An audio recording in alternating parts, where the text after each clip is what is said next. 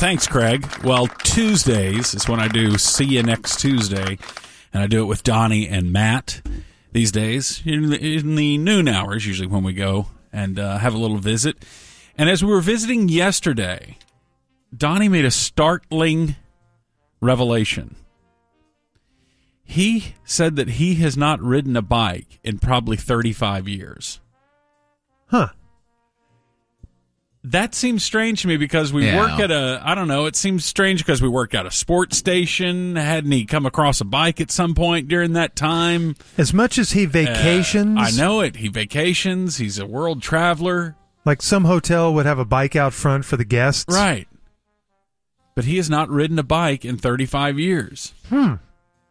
I bet there's more adults like that than you think that Well, haven't ridden a bike since like high school or something. The uh, how many people do you think can ride bikes? What I was able to find, and the stats are all over the map here. I bet that is dropping. Unfortunately, it's not a rite of passage for kids like it used to be. I think it's dropping too. I've noticed that the world has changed in that front because when we were kids, every kid I knew rode a bike. Yeah.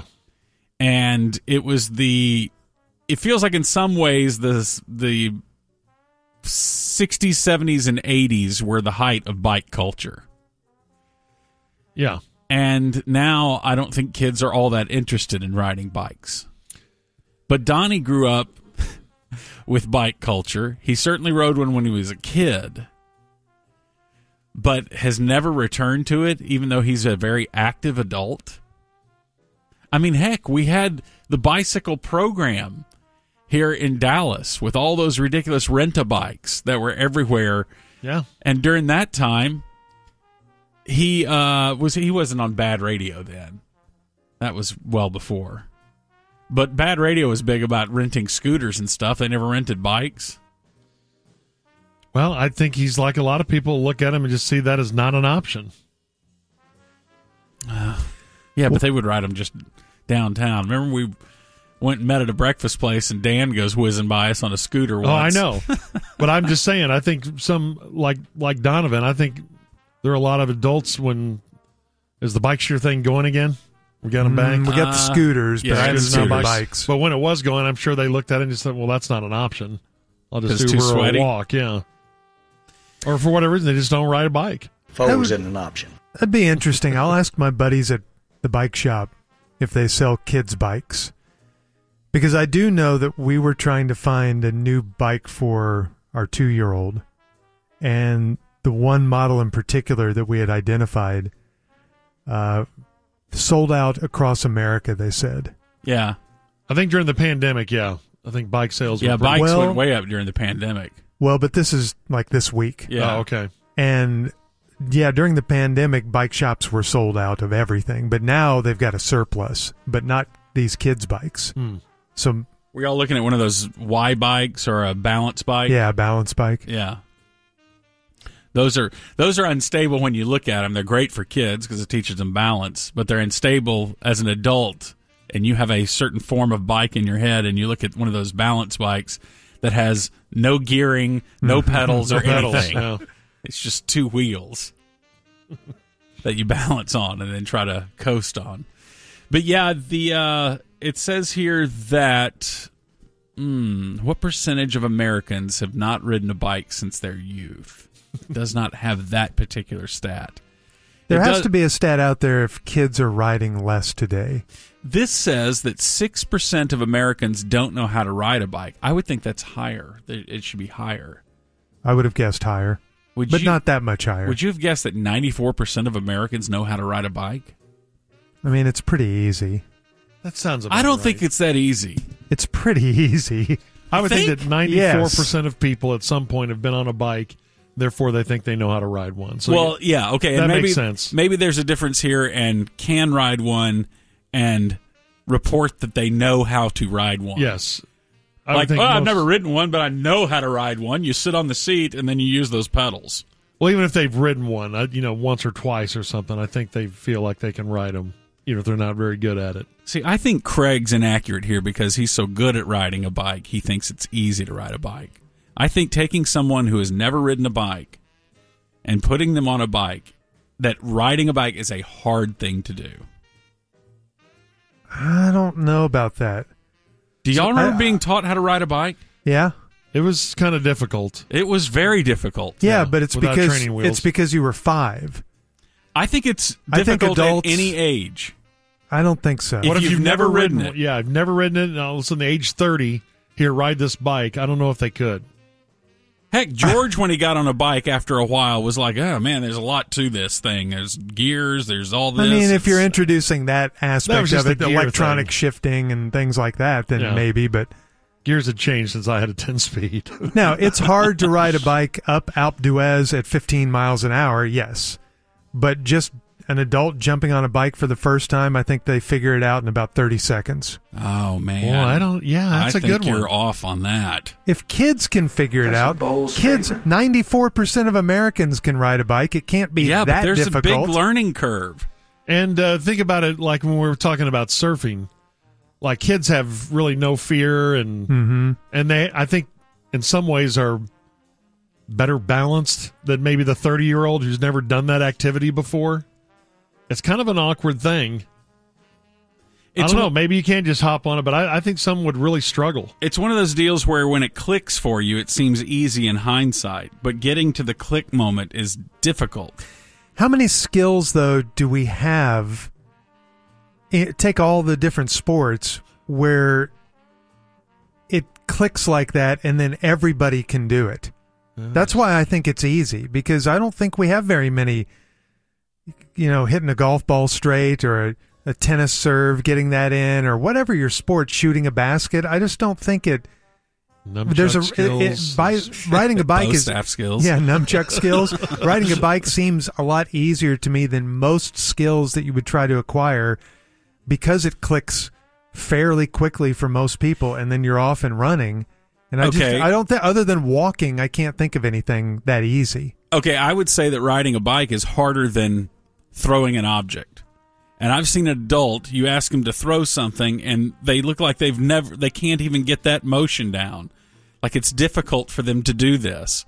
Take that same person who's never ridden a bike as an adult, plop them on a bike, I guarantee you they're going to be so uncoordinated and it's going to be so awkward for them when they can't even throw a can halfway across a room to even get near a trash can. I think an overhand throw like a football or a baseball to to do that semi well is a lot harder than riding a bike. I'm I'm not even saying it's semi well. I'm talking about it looks like somebody whose body has just been stitched together or something. Yeah. they just they don't even Right. know what they're They doing. look like Fifty Cent. And they That- throw it but right that's- into the ground. right. But that's my point. That's a lot harder than riding a bike. It- but it shouldn't be hard. You're just throwing an object. That's the most basic of chimp things that we do. Well, an underhand throw would be the easiest, but an overhand throw to do it, you know, to where you somewhat- don't look like Frankenstein. yeah, to where you don't look like Frankenstein. Does it take them a while when they train the bears and chimps to ride a bike, or do they pick it right up? Is it easy for them? it's got to take a while, doesn't it? Big old bear on a bike. How about we do this we at have seen Ticket that, Stock? haven't we? Let's do it at Ticket Stock where we get five people who've never ridden a bike before, and let's see how long how they do as we God, send that would them be great. send them down the hall. and I'd love to get a um, a version of. Have you ever heard of a reverse a reverse bike? It's hard to say. What's that? That those look impossible. Yeah, so there's a great video online. I forget who does this. It's like the guy who learned something new every day guy or whatever it was. It's totally unfair. and he built a reverse bike to where when you turn the handlebars one way, the front wheel goes the opposite way. and so he's trying to discover, you know, after you have internalized, uh, you know, some some skill like riding a bike, how long does it take your brain to unlearn that and learn the opposite way? Is that And kind of the same thing as learning jumping on a bike for yeah, the first time? Yes. Yes, it's it is the same thing. And so he's trying to except he's trying to undo something that his body is naturally computing and calculating. And he goes into detail about how hard it is when you think about it to ride a bike, like how many calculations your brain is doing at every given second. The micro adjustments that your body is making and responding to all this stimuli that you don't even have to consciously think about that it becomes an automated process and then trying to unlearn it by doing this and it's so funny to watch people try this reverse bike for the first time people who think that they can do it and it took him i forget how many weeks to learn how to do the reverse bike so if we could have a reverse bike there as well as a regular bike for somebody who's never ridden I think this would be interesting. Just on the crew, when's the last time you rode a bike? DJ. High school? Boy, yeah. I mean, See a there? decade. It's been a while. What about Fernando? When's the last time you rode a bicycle? Oh, I don't know. 12, 15 years ago, something. yeah i guess people don't ride very much Tyler? High school? Yeah, it's probably been 15 years at least. See there? What about riding a virtual reality bike? Does that count? those are the real bikes these days or the virtual reality bikes Yeah. Oh, okay. Well, we'll do it. Well, Donnie has all you guys beat because he hasn't ridden one in like 35 35 years. I'm Math Man. Interesting. I would not have guessed that. no, I wouldn't have either. But then again, going around this crew, I wouldn't have guessed that. You know, that it's been that long that, and I don't know why I keep thinking that working at a sports station has anything to do with it. No, we but all it just- ride bikes. We work just at a sports like, hey, station. you know, we're. Uh, What you think we ride our bike to work I or know, something? I know. It doesn't A make any sense. junior does sometimes. Doesn't make any sense. Although when you think about it, all kids, you know, generically speaking, ride bikes. But when I think of adults who ride bikes that I know, my friends that I ride with, but Uh-huh. outside of that, Gordo, you probably ride. I'm probably a bike the one who rides than, it the most casually. Yeah. because I'm not in. I don't ride it like you guys do. I just ride it for pure fun without the sport and Right. exercise element of it. I got to tell you, I've kind of crossed the threshold of being a little afraid of the wipeout on the bike. It's been a couple of years. Yeah. Just make sure you It's wear probably the, not wear the helmet. but, yeah. You need to be in full ro- rollerblading gear when you ride a bike. the knee pads, the elbow pads, wrist pads. Okay, fine. All right, Gordo, thanks. That's the Odex 632 on the ticket. Yep. Purrs. Some parents up there at a Denton Middle School. That's kind of in your neck of the woods, isn't it, Georgia? oh, yeah. They are worried because they say that the bus that they're sending their kids to school on extremely hot in that bus and it's overcrowded. And the school district is saying that they're trying to get some more buses right now to relieve overcrowding, but parents are saying, "Is this really safe? We're we're packing too many kids on the bus." I drove bus. Want to make sure every kid has a seat on this bus, and they're not stacked on top of each other. And then it's also extremely hot in there. Do buses have air conditioning? I thought most did, but I may be wrong about that. And then where are the vents routed on a school bus? By putting the window down. Or is it just coming from the dashboard of the school bus and trying to get all the way back? That was the thing when when I was a kid. There was no such thing as routing of air conditioning vents. Like in mm. today's modern SUVs and everything, you know, you have vents in the back. yeah. But in the old days, there were just the dash vents that had to get all the way to the back of the station wagon. Yeah. And if you drew the short straw and you were in the back of the station wagon, you hardly got any air. I can see with my kids when they were on the yellow dogs and they'd go to, you know, games, those were air conditioned. And that was pretty recently. It was within the last 10 years. Air conditioned, uh, so they had vents in the roof, I guess? I think so. Okay. I haven't been on a school bus in But man, back in the day, forever. the, we, we did not have air. I haven't been on a school bus since Donnie's ridden a bike. Were you a big dog in school? Oh, I don't know about that, Donnie. so funny how that audio has resurfaced and has dominated ticket talk. what were some of the other things Donnie asked in that interview with Kevin McCarthy? Where you class president, man? Such such lazy eyed Donovan there. You class president, man. Barely opening his mouth. Barely even talk. Just Math stud. Math stud. Okay. Um Yeah, I'd love to go on a modern school bus cuz they I'm seeing school buses now that have kind of changed the design of school buses. Have you noticed those? No. I don't know. There's a few that look a little bit more, it almost looks like more of a cubist painting that makes any sense than the old standard design school bus that has not changed in forever. No. like the the design of the school bus. But then I a few years ago started seeing more modern school buses, still painted the yellow color, but were a little bit more angular hmm. looking. Okay. And I'd love to see inside of them to see if they've have they changed seating arrangements. Like, are there any seats in a modern school bus that have the rows facing each other, like some Southwest flights used to have? that would have been a cool so. thing. Kids would have loved that. Yeah, I would have loved that. Although I think if you're facing the opposite direction from which you're traveling, the mm-hmm. opposite direction of travel, sickness? then you get Dangerous. motion sickness. Yeah. yeah. So far, North Texas has had 36 days of at least 100 degree heat, Mm-hmm. and you can imagine how hot the school buses must be if Well, they don't have good AC and they're constantly having to open the door, and then it's packed with kids, overcrowded with kids. we shouldn't have our kids hot in air. school right now. This should not be a problem. Do you want a quick temperature update? Sure. Because we have breaking news this morning. Hit the breaking news sounder, Expo. Our friends up in Bonham, it's 59 there right now. We have 60s across much of North Texas, 64 in Denton, Yeah, we were in the 60s this morning. 61 in Sherman, 66 in Arlington, 66 in Rockwall, it's 70 in Dallas. We're getting a slight break right now, just yesterday and today, and then on Thursday and Friday, 108 and 109. Yeah, I know. it's going to be 109 on Thursday, which is tomorrow, I guess. Did you get tomorrow. the depressing email from science minded P1 Nick No, about our future summers here in North I Texas? can, Yes, only, I can only follow about half of what he says.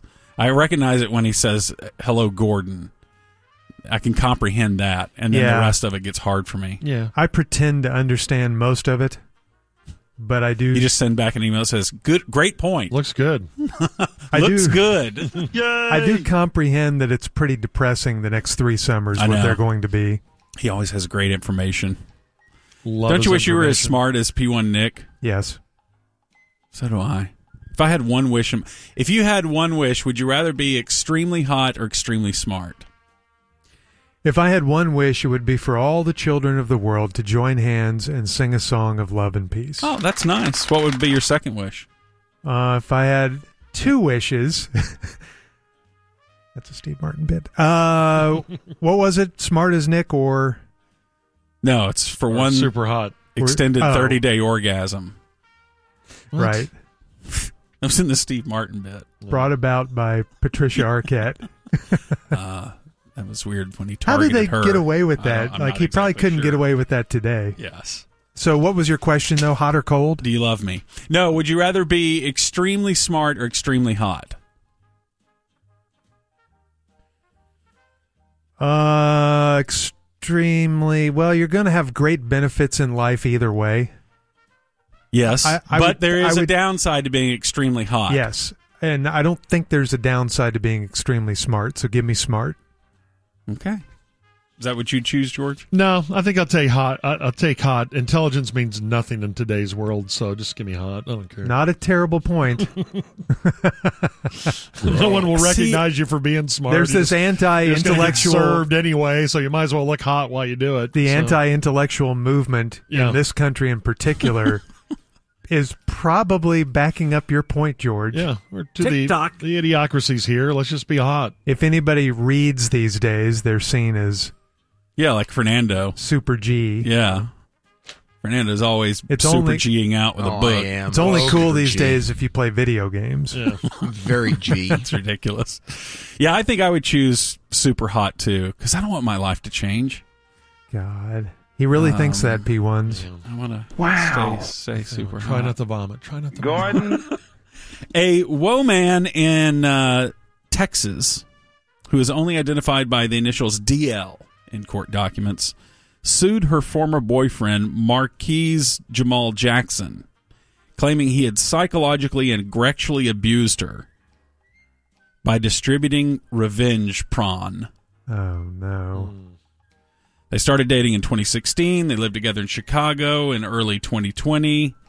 And then they had this long and drawn out breakup, and he gets mad and he starts creating all these fake emails and fake social media accounts and distributing the um, intimate visual material that she had exchanged while they were in the loving confines of their relationship. All that is a weird loving act that humans do with each other. This is the same story. Look at my gut my gut pile.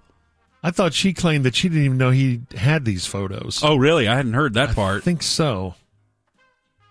Maybe. well, wrong it said that. it said uh, the visual intimate material of her that she had allowed him to have while they Oh, were a couple. Okay, all right. So, uh, but he starts doing this revenge posting uh, to prawn sites and to a publicly accessible folder on Dropbox. He identified her in the material, used her name, address, and images of her face next to the Jeez.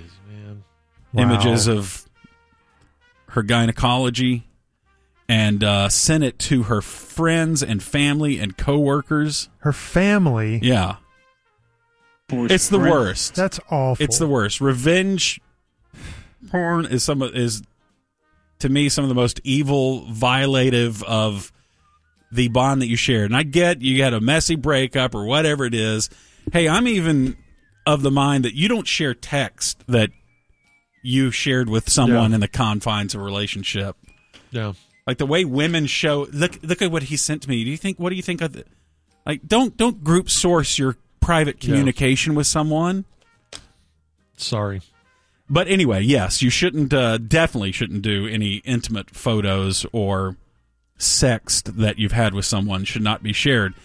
So he does this and she files a lawsuit against him and thankfully she won.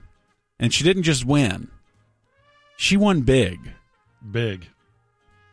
She won 1.2 billion dollars What? of a judgment against him. Wow. Good.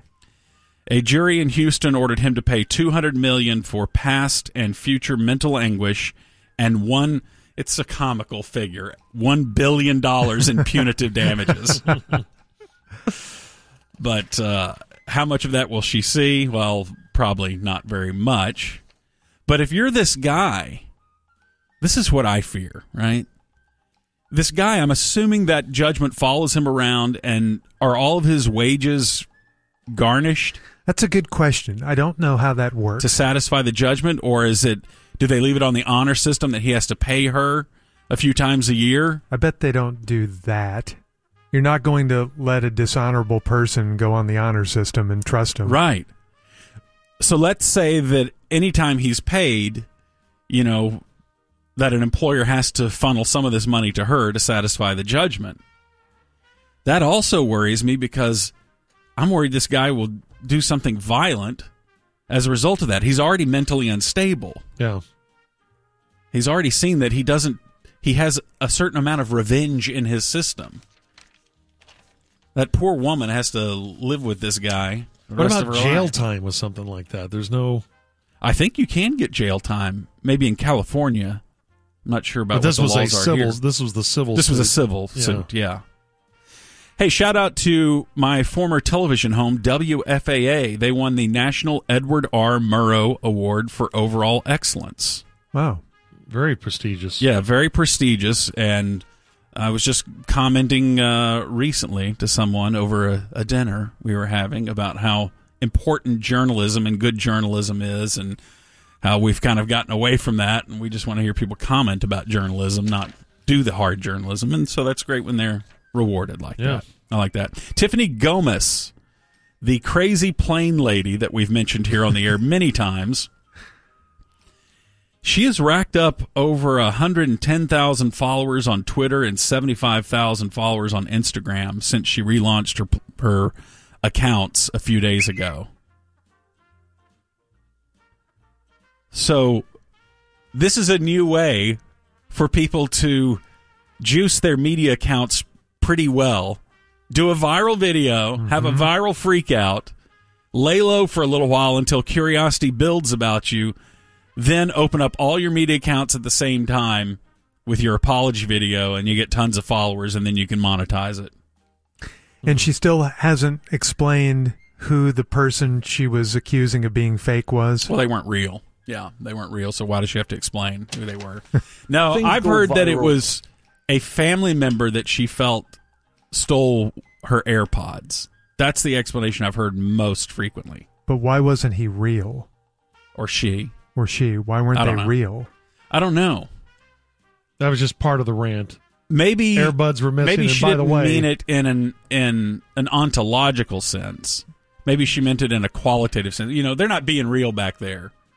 You know, they're not keeping it real. Maybe she meant it in that sense. Okay.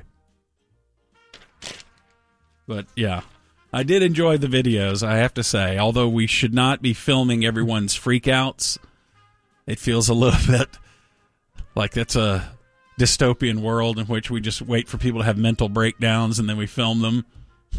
but yeah, get ready for people to stand down on that. but the Right. videos were kind of funny seeing Santa, you know, shrugging his shoulders when the camera turns to him or uh anyway. What uh what did I tease? You remember what were we Uh, talking about? Something about oh, space lasers. Yeah. Yeah, The conspiracy theories as to what started the Maui fire. oh boy, There are many of them. And in this day and age, when we have so much information, and now we were able to get accurate information at the speed of light, we're also able to get misinformation at the speed of light. And uh, yeah, the big conspiracy theory is that the government has used direct energy weapons like lasers to intentionally start the wildfires that burned Maui. Some other conspiracy theories are saying, hey, the fires are fake because you see some trees standing among the rubble, rubble that's proof that the disaster was not natural because the fire didn't burn everything. It, it skipped some trees. There's also a few uh, people who are uh, it's spreading that it's a land grab by celebrities or possibly the government who's trying to drive out indigenous people on Maui. Wow. And so they started this fire in order to drive people out so that they could then claim the land after the value is cheap. And then they would rebuild uh, a smart, uh, what is it called? A s- smart cities. okay. So dry conditions, hurricane force winds, and uh, electrical problems. Yeah, that- that's Okay. boring explanation. Okay. These explanations of space lasers, Yeah, it's much cooler. a little bit more sizzle to them. Yeah. Space Force. So it's space lasers and celebrities. Did you see Stevie Nicks tone deaf posting about her No. home? No. Yeah, she was, you know, she was trying to do the, you know, my heart is with the people in Maui, but she worded it as in my home almost got destroyed. I mean, it's it's undamaged, but anyway, the fires were very near it and my niece had to call off her va- her much needed vacation 3 days into it. Oh dear. Yeah. It didn't go over so well. Oh. Birthdays. Julie Newmar, 90. Catwoman. Meow. Julie! to Tu Wong Fu, thanks for everything, Julie Newmar. That was a movie. Isn't that the most confusingly named Yes. movie ever? Kathie Lee Gifford is 70. She's only 70. Happy birthday to you. Is Are you it? sure? That's what it says here. Yeah, she was much younger than Frank. And didn't Frank have her same birthday? He's not on the list because he has passed, but Yeah, I believe so. but I think they have the same birthday. Or maybe that's Catherine Zeta Jones and Michael Douglas. Maybe.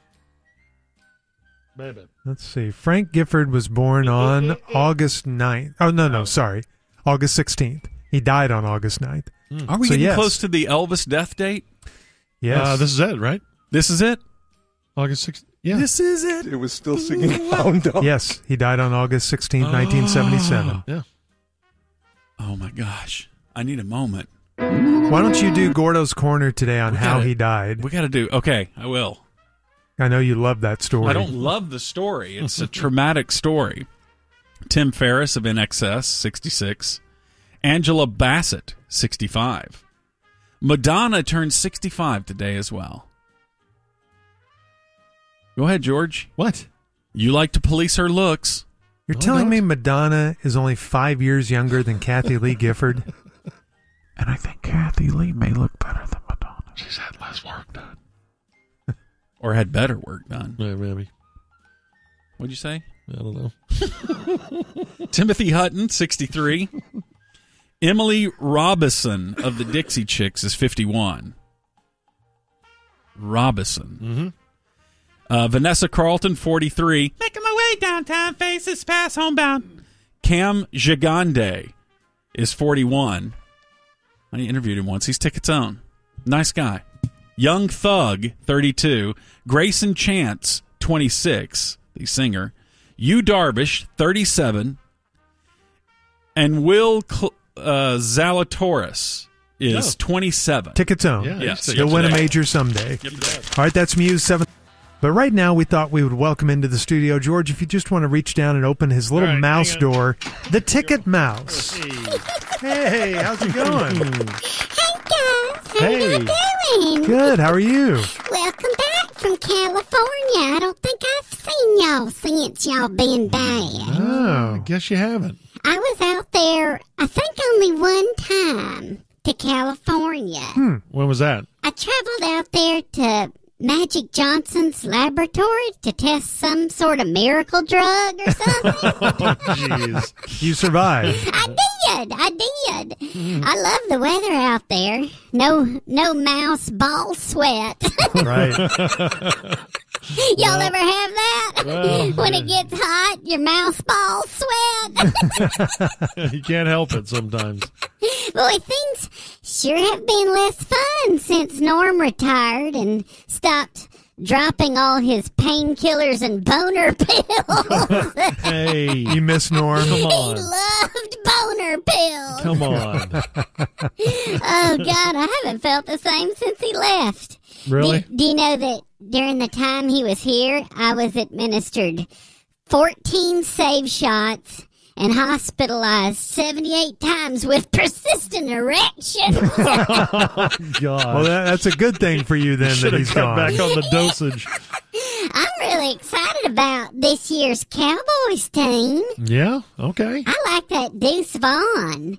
You know, Yeah. because he's small and he scurries around all crazy like, you know, remind you of someone else, you know? Yeah, kind of like you a little bit. I, I was going to say Barry Sanders. Oh, H- how's that like me? I don't, yeah. I don't understand. I Yeah, mean, he, George, does, where were you going with I'm that? sorry. Well, he's just kind of little in stature, also. So he doesn't have fur all over his body. okay, and okay. peanut butter and dark pantries. That was weird, George. I, I don't know. know Really where weird. you I were guess it was kind of weird. Yeah. I guess you do you, though. okay, I'll do me.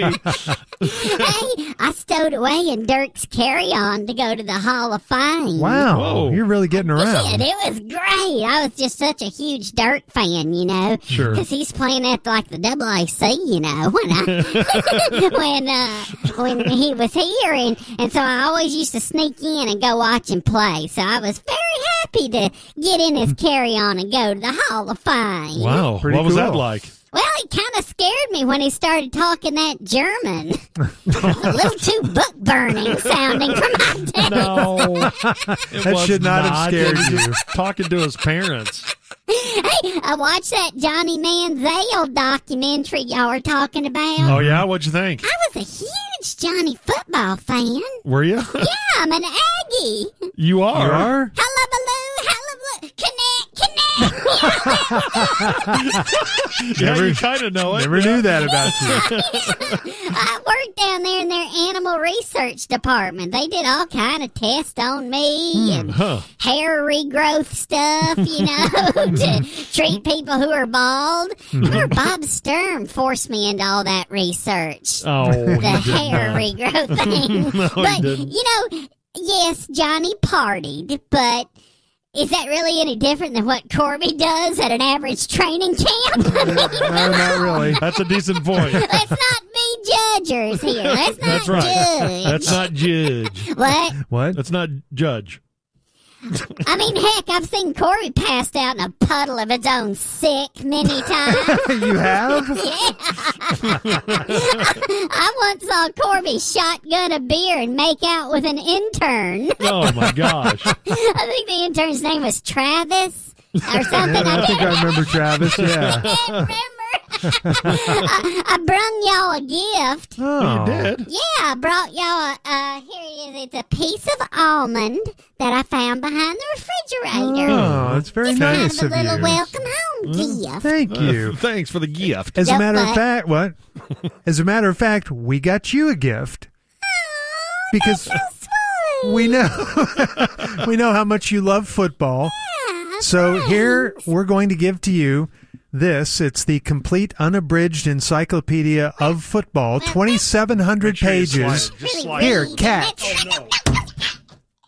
Oh, Ticket Mouse. I said slide it. I, I heard that too late. It was already released from my hands. It's crushing Way too much arch on it. human rib cage. Are you okay? I. No. Hey, I had that happen. That's really scary. I had that happen what last are you week. doing to me here? Get the encyclopedias off of me. Here, just crawl out. I think you're okay. It doesn't Ticket look Mouse? great. God, I feel terrible. Bad acting. Oh, you're back. Told you, faking. Thank God. All right, there he goes, the ticket mouse. Uh, thanks, George. I appreciate that. Wow. Oh, jeez, Louise, that was loud. Okay, uh, I get uh, this from Stephen B. As we talked in Muse in the News today about that revenge porn case that happened here in Texas, in which a woman was awarded 1.2 billion dollars against a man who had posted revenge porn online and also sent it to her friends and family. And I was wondering, do if you have a judgment against you, like this guy does, are his wages always garnished, no matter where he works? Do they take money out of his paycheck to send to the woman he owes money to? And the answer is no in Texas. Many P1s chimed in and said they can only really garnish your wages for, I think it's child support and a couple other things. Hmm. But Stephen B says, I learned the hard way that a judgment means nothing. I have one against a contractor who screwed up a job for me.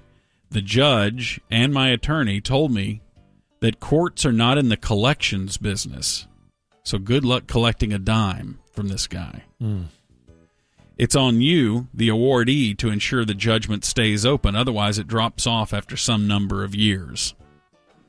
You can hire collections attorneys to go after them. And in my case, I saw that as good money after bad. I'm sure there's an attorney out there who would help this woman chase that loser to pay something, but the attorney would take at least 50%. So it's like any other hmm. collections effort. They settle for, you know, they get pennies on the dollar and then you get some money too. But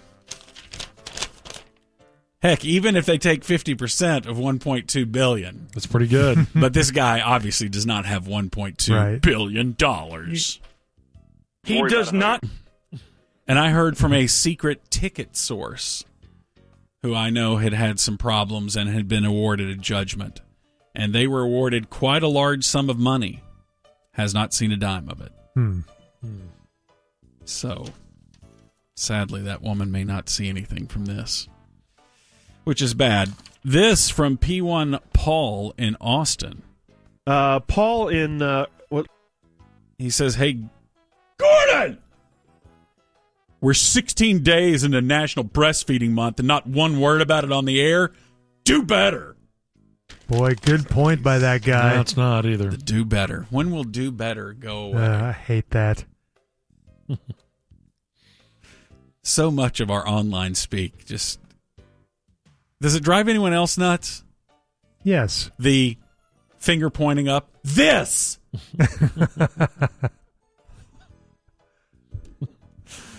oh, all right. George, you requested it through Craig. that I talk about the death of Elvis Presley, who died on this date. And Tyler, lay in any Elvis song that you come across uh, that died on this date, August 16th, 1977, at the age of 42. Wow, just 42. Man. Only 42 years of age. And he looked 62 at the end. He was the king No offense. of rock and roll. Here it is, Suspicious Minds, that has been, the tape has been slowed down to G flat. Okay. That's why Well, it really Elvis. doesn't matter. That's why Elvis has voice in this. I remember this was one of the first times I remember network news breaking in on Oh yeah, Yes. This was huge. I was a little kid when this happened, and it startled me and scared me Yeah. because Elvis was huge back then. We had Elvis albums. My mom was a huge Elvis fan when she was growing up because she lived in Mississippi, where Elvis was from, and she remembers him singing at high school football games. Wow. Wow. So, and that was back before she knew his name. She's her and her girlfriends called him the cute boy from Tupelo. but yeah, so uh, Elvis dying in 1977 at the age of 42. It was huge news, and that Elvis Presley Boulevard, which I don't even think was called Elvis Presley Boulevard at the time, was lined with hundreds and hundreds of thousands of people. I think they estimated like uh, at least half a million out there. Uh, yeah, I almost remember like the f- very first day. I remember people just lined up somewhere.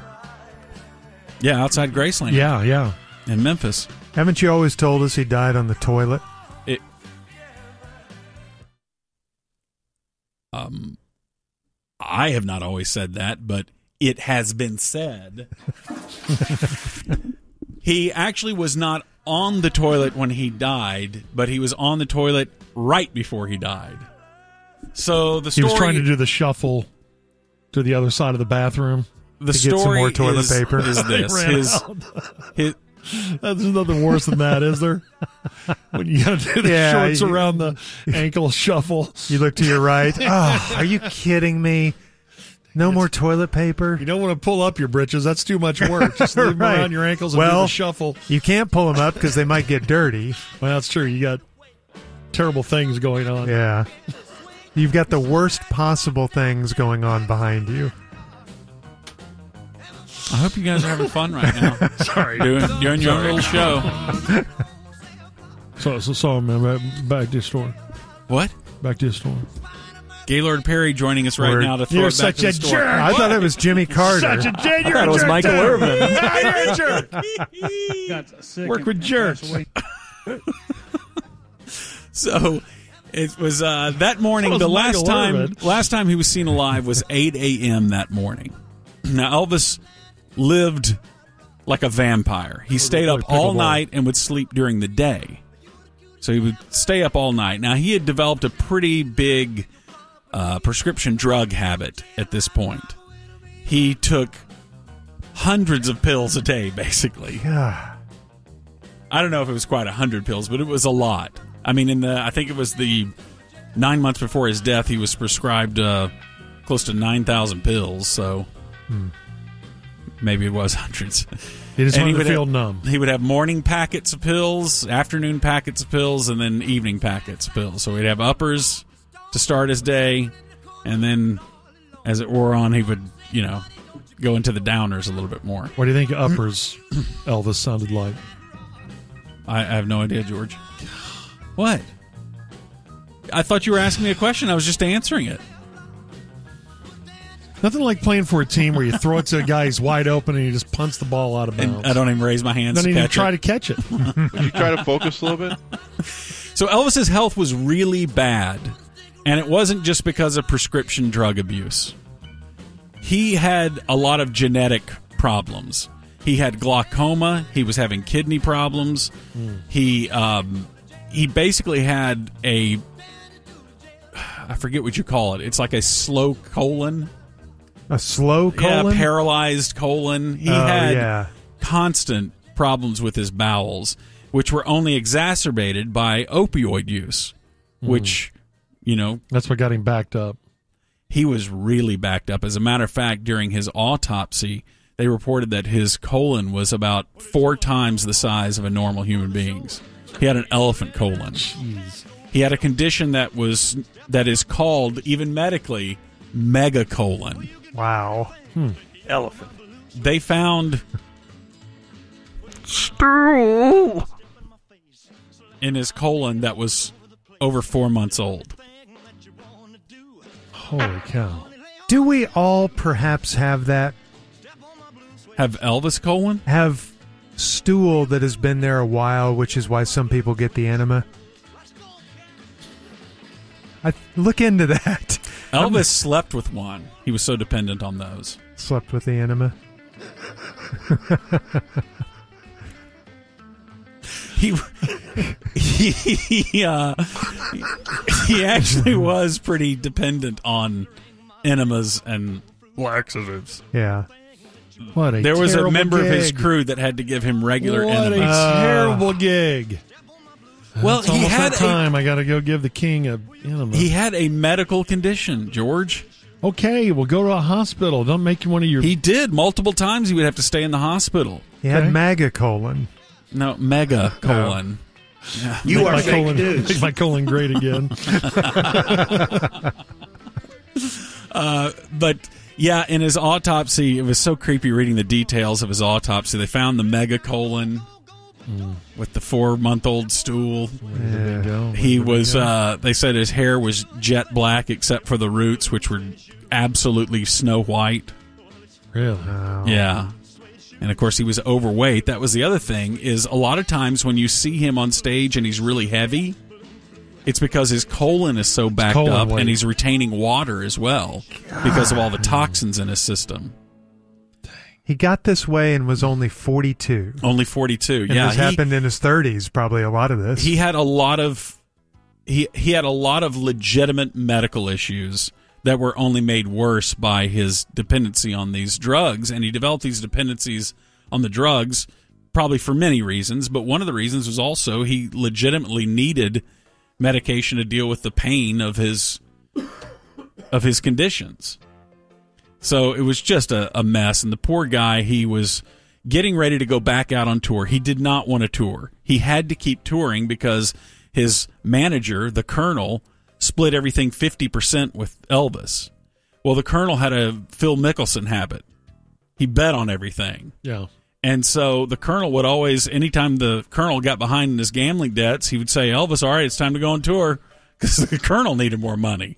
Man. So and so sorry. he'd get Elvis to go, and Elvis wanted to stop touring. You know, it took a toll on him, and he was tired of people making fun of his weight and all of that.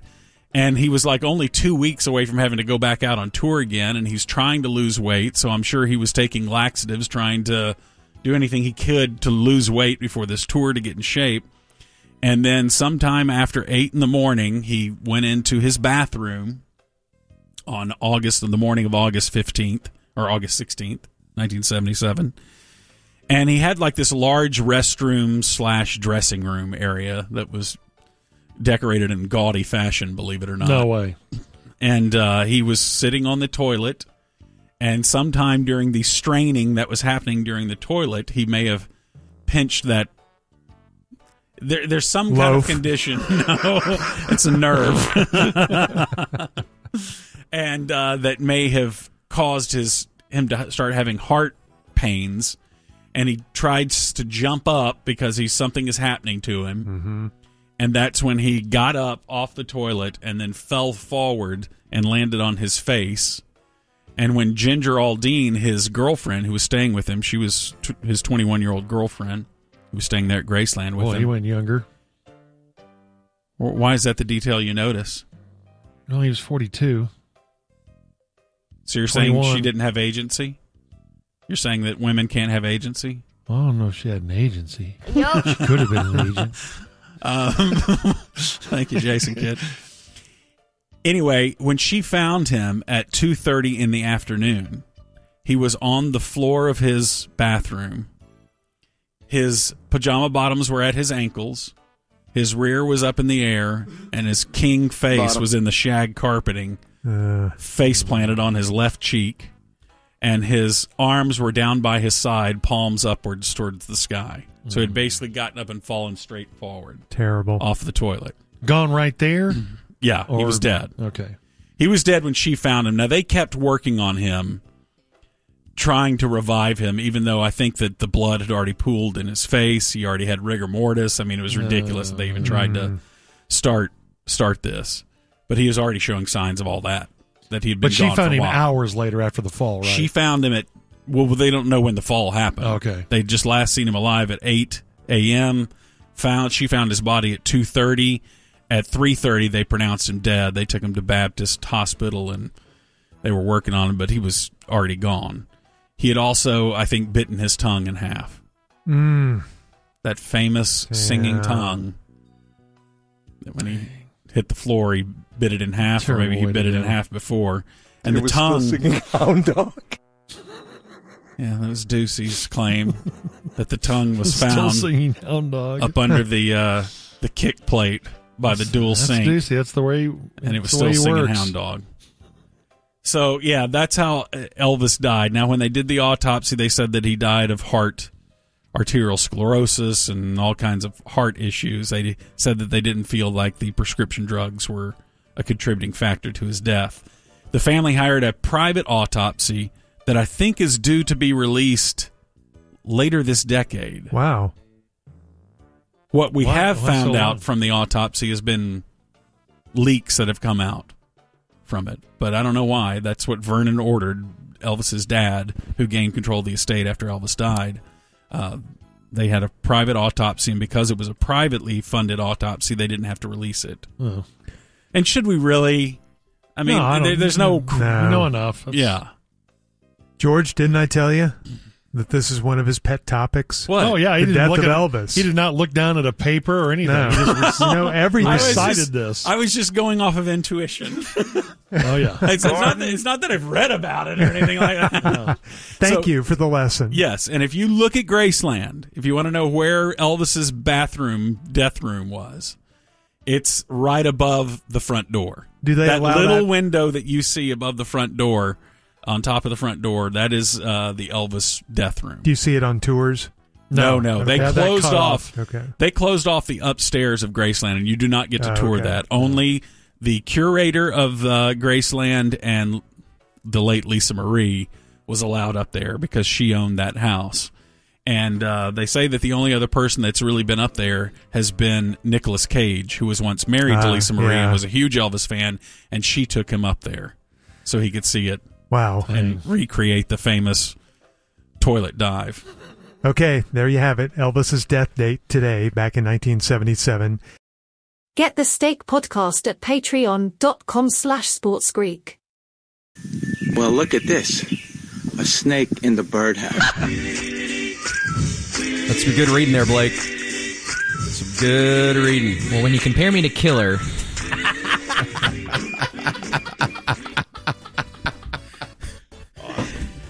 I'll give you that. I'll give you that. The man can read. It's just the Can he? expression of projecting it out. Vocal. less Killer. It's tough. All right, how we doing, boys? We good? Great. Awesome. Good, Yes, how good, are you? Good. It's good to see you both. Oh, look at the T-shirt that he has on. Yeah. What a shock. What? You want to take a guess at what whose what name is on the front of his T-shirt? He can probably Blake? see the back. Oh, is There's it on no- the back no, there's nothing on the back. Oh, There isn't? Okay. no, don't show Back- it. Guess what Uh, name is on the front of his shirt? Jason Isbell. So easy. It's just so easy. I only have three of his concert T-shirts, so I'm- let's just slow down. I thought the first your first guess may be Deuce Vaughn, but now oh, it's, that's uh, coming Oh. too, man. I know it is. can't I know. Wait. He's got the Deuce Dude. Vaughn jersey, so I'd see Vaughn on the back. Do you know how excited I am to like root for the Cowboys hardcore again? Like I have when I like since I haven't done it since I was a kid. I'm sure you'll look good in his practice squad jersey. It'll fit. You didn't like DeMarco on the oh yeah, I love Demarco. Okay. Of course, I But did. not like Yeah, yeah. this? No, no, no. I uh, Demarco and like if they got Baker, uh, yeah, of course there are levels. There's levels. CD. I like DeMarcus it. Ware. What, what about Demarcus Ware? That's a drop. Uh, All right, this is from someone named Monty. You get a Rangers playoff win for every Aroldis Yeah. Chapman fastball you take to the gut. do they win the World Series? Meaning, how many can you sit there and take? Drill him in the butt. It's 103 miles No, an hour not- not- into your gut. It's going to break a rib every time. Not with me in the batter's box. No, I'm out. You're not doing it? No. What a coward. Okay. Stupid coward. 103 to the stomach. Do you think, okay, do you think you could actually stand there and wait for it and no. take it? You would move. You're bailing out. You'd as have soon- to be blind. As soon as he winds up, I'm stepping out of the batter's box. Or gay. But he's gay. True. One of the two. Yeah, I think I'm out too. I think I could. I would take one. but that's only one win. And then you got a broken rib for one win. If you if you get hit right in the ab, you know you'd swell. Might have to worry about internal bleeding, but I think you can take one. 103. Yeah, and then if you can take one, you can probably take more because the first one would hurt the worst. It would hurt so bad. I think. I think I could take one. Rangers lose that series three to three to three to nothing. They're swept out of the playoffs. And you're just in the stands drinking beer and eating popcorn, having a good time. Yeah. Sorry. All right. Are you guys are our good P1 Sideshow Bob? We mentioned this the other day on the air. Sideshow Bob was actually in the movie Piranha, which I don't know if you guys the saw. original? Yes, the Yes. original Piranha. That movie horrified me as a kid. Yes, it so freaked me out. It was about a, a, a summer camp that got somehow they- these African piranhas got dumped people. out. Yes, Like, they, they, would did. debone human. yeah, and like a skeleton would just Yes. pop up out of the water. Mm-hmm. And I thought, my God, they can be anywhere. So he was in it. So this is the question. If you saw Sideshow Bob about to be eaten by piranhas, and the only way to save him was to stick your right leg in the water, would you do it knowing that you would lose your leg while saving Bob? And Bob can be replaced by anyone. Are you Fake willing leg. No leg. to stick your leg in the water to save a friend and know it it's getting ready to be gnawed off by piranhas like you just said like just and then it's gone There are levels of friends Yes. Yeah. Like DJ? Hmm. It's the whole Oh, snake in the groin, suck out the venom question. Like, how good do you have to, how, like, what level yeah of but i would rather be eaten by i would rather do that a thousand times out of a thousand than dip my leg Yeah, my, knowing- my meat stick into the water You're guaranteed not to die, though, right? yes You just lose will a leg. live you'll Okay. yes And then but the person and the pain is Nah, 'cause- unbearable Nah, come on. Like, as, at some point, the nerves So got to go quick. But yeah, you can't watch your friend get eaten because you would be. They would sit you on the dock right there, and you're like, okay, there he is. Does your friend Here lose come the anything? piranha. No, he's good. God, that's, man. Not fair, is it? No. Because he can't donate his There's right a couple leg. of people I would do that for. Yeah, of I, course. I say Yeah. that, but then when it's happening, I'm like, sorry, man. I don't know. so just a rando like like Bob, who's not a rando, but he is a rando. I couldn't do it for a rando. Well, see, maybe, but if you knew it was like, if you didn't know that you would lose your leg, I could do it. But if I knew I was going to lose my leg, how do you stick your leg in lava essentially? Knowing, Just knowing that what's going to happen. Would you rather stick it in lava and have it disappear Man, instantaneously, or have the piranha hot. slowly eat it? the lava would be the better option. I feel like, and it's just gone, and you pull back, and you've got a burnt nub. What if it just glows? What if the nub is glowing and you have superpowers? That'd be kind of awesome, like an ET finger, but for your or leg. you just pull out the cigarette out of your pocket and light it. Put it against your You're like, nub ladies. and light it. You're such a badass. All right, for a million bucks, you have to fight off Mozzie Smith No. or Okay. or a huge Rottweiler on your way to the car for a year for a million dollars. I, Mozzie Smith would be my choice. Over a Roddy? Every day for a year, every time you go to your car, yes. Oh, you're talking Mozzie Smith every day for a year. yeah, because I don't think he'd bite me.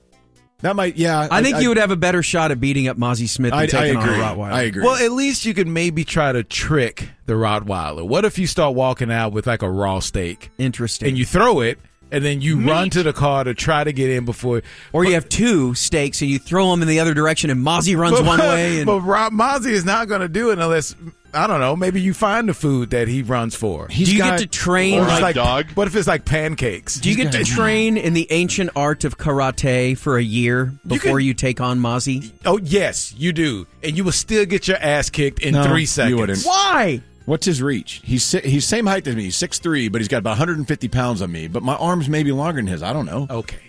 What? You don't know that his arms are longer than mine? Yes, science. It doesn't matter. His arms could be three inches, and he will still beat the crap out of you. Assuming that's Yeah. a lot of assumption there. Yeah. Okay. What if I punch him right on the chin the first time and he just drops? and he, and he laughs because it maybe just he did has nothing to him. or he has a glass jaw. We do not know this in a fight. It's true. Matt's bringing up great points. You know what you sound like? A bitch. Plus, you could kick him in the nuts for all we know. A realist. and and you're trained in the ancient art of karate. I want to see you trained for a year. Daniel LaRusso karate. won the All Valley on that. He did. And as soon as you go, yeah, and he just on a 400 pound 350 pound dude Rips who's both of your arms out of their sockets. but you trained for a year. You're you're great. I mean, he- so You'd get drilled. All right. Would you randomly shart yourself once a week at work to double your salary for the year? yes, done, sold. What I- time? I do that a couple times a year anyway. It wouldn't be that bad once a week. I think that you would have to. It's up to the guy that's paying What? you. He can hit a button at any time. Done. But you're Any time. Like, Matt so Birmingham's in charge. He can hit it whenever he wants. It's just a little poop in your pants. It's not a big deal. It's a big deal to me if I'm in the room with you for three hours. But what if you're like on a on a date or you're doing it and stuff? Oh, that'd How about fun. that? That'd be fun. And we have we have eyeballs on you at all times hmm. with our magic shart button But it's only once a week. once a week. Yes. What's that's not a big deal. So like tonight at the Ranger game. fine. Hey guys, look, I pooed my pants. What do, I mean, That's the way baseball go. beers on me because my salary's doubled. I mean, every whatever.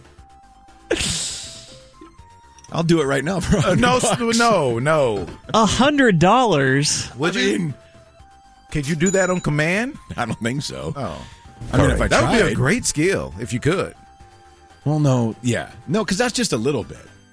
So A little goes a long way when Look, it comes to look, that. There there's a lot of shock and awe and terror when something like that does happen. It's like Oh and my it's gosh. a freak out factor. Yeah, well, mainly because you don't like if you're sitting on your couch at home, did it go through your shorts and now it's on this couch where you got to clean the couch, which is a beating. Yeah. But I mean, on these chairs, it'd be easy. That's no big deal.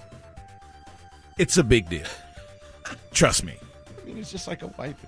You're clean. I mean, How many unhoused people would DJ kiss for all team all four teams to win a title? None.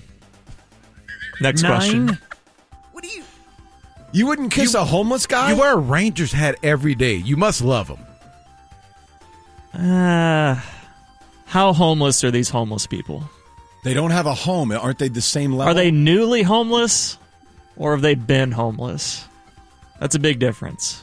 Well, I think he's asking a really legitimate question. yeah, because if it's your All first right. day on the street, Let's you might be clean. say three months in. a year in. No, out. Year. Really? For all okay. What mouth all right, disease would all they right, have? All right. Let's let's temper expectations here. Let's just say that you have to kiss a 30-year-old homeless lady who's been homeless for a year for 1 minute for all four teams. One minute. That's a long. That is making out. Yeah. When's the last time you kissed for a minute straight? And she's way into it. Oh no. I'm out. I'm out. 1 minute. The Rangers might win it this year anyway without it. Cowboys I are looking good. That doesn't seem like that big of a deal. I don't know if I'd kiss my wife for a minute straight. Really? And then we hit the button and he sharts himself. and she's like, "Oh, I, I recognize that." I have that effect on people. A That doesn't minute. seem that bad. That's a long One minute. time. yeah, but it's Okay. Start kissing. N- Dude, right. I'm kissing. I mean, You're five seconds in. there are some hot homeless people. You have no proof of that. You're 10 seconds They in. just look. Oh, at you you I guarantee you, you've been past some sort of homeless encampment where you're like, how did that person get to be homeless? exactly Never has that happened to me. 20 ever. seconds in. right. We're still kissing. That's a long time. It's just swirling a hmm. tongue around, man. It's not that bad. You're kissing. 30 seconds. You're halfway through it. Little homeless Slam boob grab. Yeah. I could see this turning I out want pretty you to. okay. I want you to. I want to Hey, extend now. the challenge for everyone here. Go home and kiss your wives for a minute straight. Don't say anything. Just walk up and just do it a minute straight. And I promise you, after five seconds, she's like, "Yeah, what are you doing?" Because you're still kissing right now. Yes. Jamming, ramming your tongue down. So do do we all accept that challenge? I would do it. to kiss a homeless person. No, for a no, no, no, minute? no, no. Your significant other for one minute. I would rather do the homeless person. Good stuff, Corby. with no teeth. It'd be weird. You lick her gums. oh, dude, What? The homeless person. I know. That didn't make it better. Well, Ooh, EA. Hmm? Our buddy EA. Hmm? all right. EA. Of everyone at the station, who are you the most worried would steal your wife from you if you left them alone together? Going to Corby, actually. of everyone here, You. me? Yeah. Look at you. Yeah. I Why knew would you it. say that? I knew it. Oh, the curiosity. You got, I mean, you got game. Curiosity. Yeah. Oh, what does that look like? I understand that. How we say that and we're fired, but Donnie says it. Oh, yeah. I'm going to put my money on Blake. Blake is a silent assassin who would just swoop in and steal Correct. your lady. Flash You know- those nipple rings. I know. that's not true. Look what I've got. He kind of is. Look, we've seen it in action. Back in the way back Way in the day. back in the day. I Oh, mean, way Oh, back yeah. in the day. Remember that? Oh yeah. You remember that chick? Oh yeah. Remember how cool I used to be? But he didn't even have to say anything either. Somebody just walked up and was like, He "Who's just your had- friend?" He has that look. He's the he's the silent assassin that I would be definitely afraid of of stealing my lady. You know, he's young. Ish. He dresses used to nice. be used to be uh in shape. He has good hair. Knows how to engineer remote Okay, wait, I broadcasts. know. wait. I know, the He's- sound would be perfect. He's young. In parentheses, he used to be. He used to be in shape. Yeah. but you can almost see Right. If he just worked a little bit, he could get back in shape. right, like Yeah. quickly, easily. Yeah. Because he's at that age. He is. You could Yeah. snap back in pretty quick. Yeah. Brat diet. Bring it. Yeah. You can't come to my house again, Blake. Because I fear fear you taking my Uh, lady. Okay, that'll do it. That's Okay, it. There we go. Thank you, P1s. All Thank right. you, Corby. Thank you. Thank you. We Thank you. Will News? All right, we're going to start the news with an apology. I accept. I think I want to apologize. You're not up forty nothing. Specifically, 75 to nothing now. Well, that's a skunk. I want to apologize to the host of the Birdhouse segment, Corby Davidson.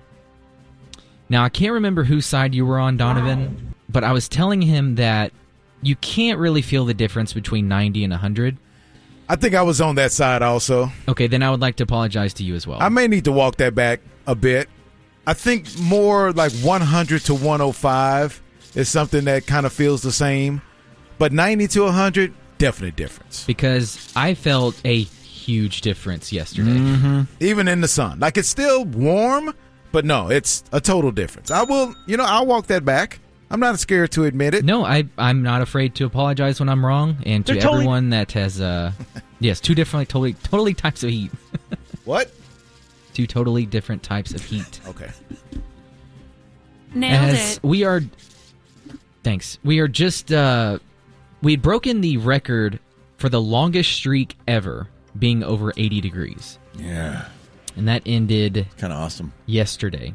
In ever. 377 straight hours of the temperature being over 80 degrees. Hmm. Well, we did it. We're on the other side. Well, then tomorrow it's going to be 108. Yeah. Well, Okay, we just Ty. start a new one. Pessimist Ty. Yeah. No, realist. I think it's cool to set records. Not heat records though. Yeah, but if you're going to have to be hot, you might as well set a record. Like tomorrow, what's the record? Like they say maybe 108. Okay, well then let's hit 109. What difference does it make? Let's get the record. Yeah, there's no difference between 108 and 109 as far as you feeling it outside. So why not But have I a don't. record? I know don't care about the record. That drastic of a leap you're taking by saying that. oh no, it's a huge leap. It's like a Grand Canyon leap. You saying that one degree difference is not I that. know. I know, Blake. I know. well, we did it. And yesterday felt great. Let's have more of those days. It was. It was really cool seeing a six in front of the uh, on the temperature gauge in my car this morning. Didn't expect to see that. The problem is, it's still extremely hot because I discovered this yesterday. I was telling you about this. We're so used to it being 108 that when it's 96, 97, I went for a run yesterday afternoon. I was like, oh my God, it feels great out. You get a couple miles into that, I'm like, holy crap, it's still really, really hot. But my body was like, no, it's not when I first went out there. I know. But most normal states would see 96, 97, and they still wouldn't go outside. But we're you know long sleeving it up and everything. Yeah, we don't have a because it's choice. So cool outside. Run around in a hoodie. We're a hardier breed. It's true. So that's the apology apology to Corby. Hope he accepts, and to you too, Donovan. All right. Um, I've said this before. If I get sent a story by a select few of my coworkers, I don't think about it. I really don't really read the story. I just kind of do it. Okay. Okay. Good to know. And this story is from Ham, and we have two of these today. Two ham stories. And with any ham story that he sends to me, I know it's not our bit, but I love it too much to not do. I want to count the red flags. Okay. Okay. Woman sent Stranger Things star $10,000 over one year, divorced husband in wild catfishing saga. A lot of red flags there. Wow. So apparently, and I'm going to send you the picture of this human being because I think it fits. Uh, it must. as she became she was she describes herself as in a very toxic relationship with her husband and to cope with that she got really involved in a stranger things forum and while a part of this she believes that she was reached out by one of the actors in stranger things the guy who plays billy doesn't mean anything to me but if No, anyone who has seen me either. this I haven't seen a second of Stranger Things. Really? It's awesome. Not me. Man, what is wrong with you guys? Is that the one with the smoke monster? That's Lost. Ty. I actually watched Lost. Yeah, Billy is the dude that's kind of the older kid that's that's cool and has long flowing 80s hair. He'd be a hot dude in the 80s. But not now. Well, I don't like that look for now. But in the 80s I could see it. But he so but he's not hot enough to get uh, fallen for like catfishing. He's not that hot. He's not catfish hot. It would make absolutely zero sense that that girl that you just sent thinks that dude wants anything to do with her. So, just saying. Let's have some realistic here, okay? So she is obsessed with Stranger Things. She loves this community. She's reached out by some weird username DKMH, which she explains. Uh, is Sounds the- like a drug. It's the title of his book or something. Books. But anyway, yeah, then she she believes it's this guy. This guy is saying like I'm about to break up with my girlfriend. I think we need to be together. I just need $200 in crypto. Oh, even in crypto. done. And she did it. I'm an I'm an Australian actor on one of the most popular TV shows ever. Can't wait to be with you. Says she would send the scammer 100 to $200 via gift cards, payment apps, or cryptocurrency. All I need right now is two hundred dollars. Please send it to me. no, I love you. There are so many No. vulnerable people out there that we think, how could anyone get catfished? Boy, all the anything? ladies on Twitter love that dude. Uh, Do they really, Ty? That's what I've heard. Hmm. Okay, thanks. Thanks for the affirmation. His favorite actress is Alexis Texas. Yeah. Oh, his I've heard that is? too. Now, actually, that would make more sense if him and if she would had this story, I could see that. But the vulnerability of a lot of people makes it really easy to get catfished, and we can't understand it because we feel we'll be on guard. On guard, but it happens so much. There has to be something to it. There wouldn't be a television show all about it if it weren't so many people out there that fall victim to to that. Yeah, it uh, just whatever I mean, point you are in in your life, I can your understand relationship, all that. Getting catfished, but getting catfished by something like this. I mean, getting catfished by someone who's just messing around makes sense. But this isn't like, why would you believe of all the people who want you, it's an Australian actor who's probably worth millions that's on a super popular TV show? Doesn't matter. If I was vulnerable and someone who was pretending to be Nicki Minaj Or Monique.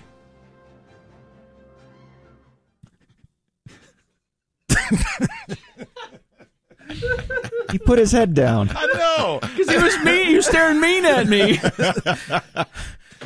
and I'm at a vulnerable state in my life.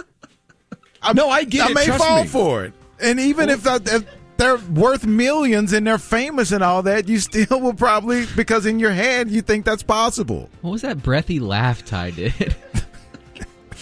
But why would he need you to send him money? He's on Stranger Things. Yeah, what was the move of you just disappearing? he was hiding from me. He's me. just gone. You looked up. Ty I no was being was there. scolded by you. I didn't say a word. But you gave me the evil eye, man. You really did. But yes, Okay, Donovan, if Monique reached out to me, I may have to talk to her a bit. You just never know. her show, The Parkers, was kind of funny. But at some point, you're. let's talk on the phone, or send me a Right. picture, or let's FaceTime. I Hold up a picture with today's date written down somewhere so I know this is really you. There's a call me, show your face on whatever FaceTime thing you do now. It's very easy to disprove these things. Yeah, but they they just prey on the lonely, and I, I feel bad. I like I feel bad for this person. I don't. Why? That's because you're a moron. Okay, but uh, Hot yes, she wasn't sports thinking logically, but she's just so not. so desperate and But you get to that state of mind. You're married. Talk to your husband instead of trying to go after Who wants to Australian strangers. that? he was toxic. Yeah, who wants to do that? You've done that already. Been there, done that. Then go on Bumble or whatever It's- is existing. You, I don't think you could think even. she's doing good on Bumble. Whoa. Probably yes. she might have a great personality. She doesn't. It's hard for you to put yourself into the mindset of someone in that state. It really is difficult. And what makes seems normal for you is just not normal for everyone else as far as asking those questions. Oh my gosh, this person that I love is reaching out to me. They love me. So I'm doing I mean, in giving, way, sending them gift cards to Chili's or something. kind of awesome. That's what they want. because you're so just gullible. You believe, and that's kind of nice. well, watch out out there. Make sure it's really them. Well, that's great don't, advice, Don't Blake. send them money. That's the big thing. Don't Never send, them money. send money. All right, I want to get to one more story. One more ham story Is that a drop? in the news. No. Oh, okay. Um, let's count the red flags again. Oh no! Florida woman doused herself in Diet Mountain Dew to erase DNA after killing oh roommate 79. Her roommate is 79 years old. Yep. How old is this lady? That's what you took from the headline? I mean, I'm just trying to. I'm wrapping my head around everything. It was the last thing you said. How I'm old working was backwards. the douser? She is 35. Okay, that's odd.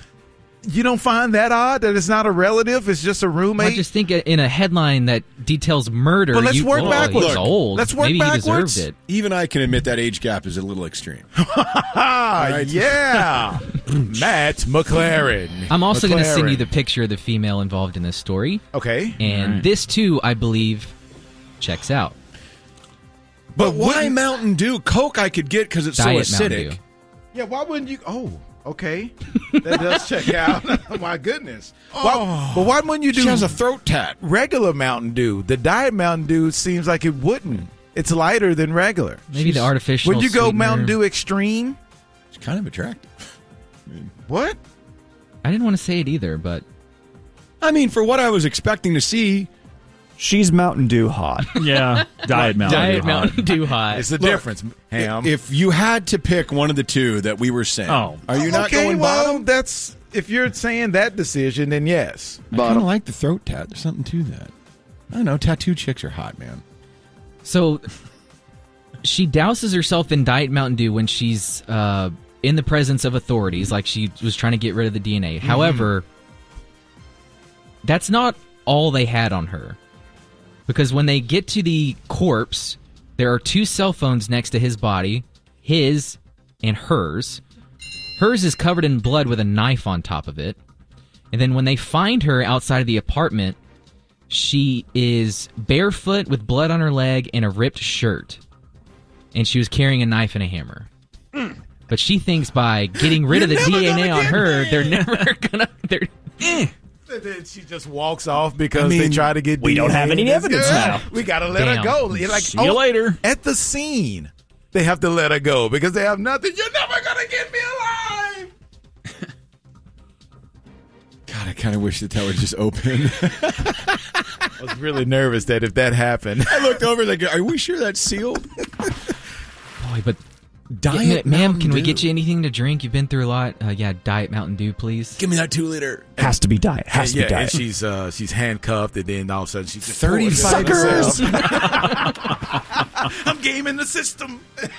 You'll get nothing from me. You have a knife in your hand. This, yeah, no, but the DNA is gone because of this diet Mountain Dew. Like shot. They allegedly had to force a pulling and kicking Ham. Max into the car. But when you're out of prison, call me. There's your news. Yay! That's what you're gonna end on. Man, Yeah. her, her name is Nicole. Hot name. Telling you, man. If that was the homeless girl, Oh, what? She's got something. It's our first ever segment with Gordon Keith joining us here. Little midweek Gordo at two thirty. It's his audition show. If Yeah. it goes Yes. well, we'll do it again next week. This is I'm- the pilot. I'm trying to get some good tape, you know, to start shopping my wares around, you know, because radio's in flux right now. It really is. And- So- and, thank you for being now on every show. yes, I know. I Throughout know. the week. I can't quit my gag of being on every show. It's a good These gag. days. It's different days too. It's Tuesday is the ten to one show. Yeah. we've got Wednesday with Mhm. you, and then Thursday. Then you can- Thursday. That's why we have you on, so you can promote the rant revival on Thursday. That's right. I'm here to 5:10. promote uh, tomorrow's appearance on the hard line. And your- From a hero. 445. And your Twitch stream. And my Twitch stream, which happens sometimes around 735 on Thursday nights. All right. So, yes, go to the Twitch stream and you get to see behind the scenes talk and uh, serious, soulful conversation And on I, Twitch. I love the bit of you stop the stream and you just wonder what kind of pose you'll be in. I know because I'm. I'm so lazy. I don't pre-organize raids. You know, I don't pick someone out to to raid at the end of my Twitch stream. So it always just hits when I hit end broadcast on my computer, and it usually it freeze frames on me looking like I got a morphine drip in or something. It's horrible.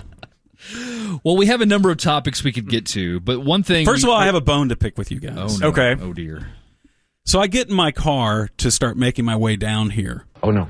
and uh, and I and I stopped by to meet some people for lunch beforehand, but just to say hi to them because I knew I had to get down here. So I get in the car, and I hear this tease.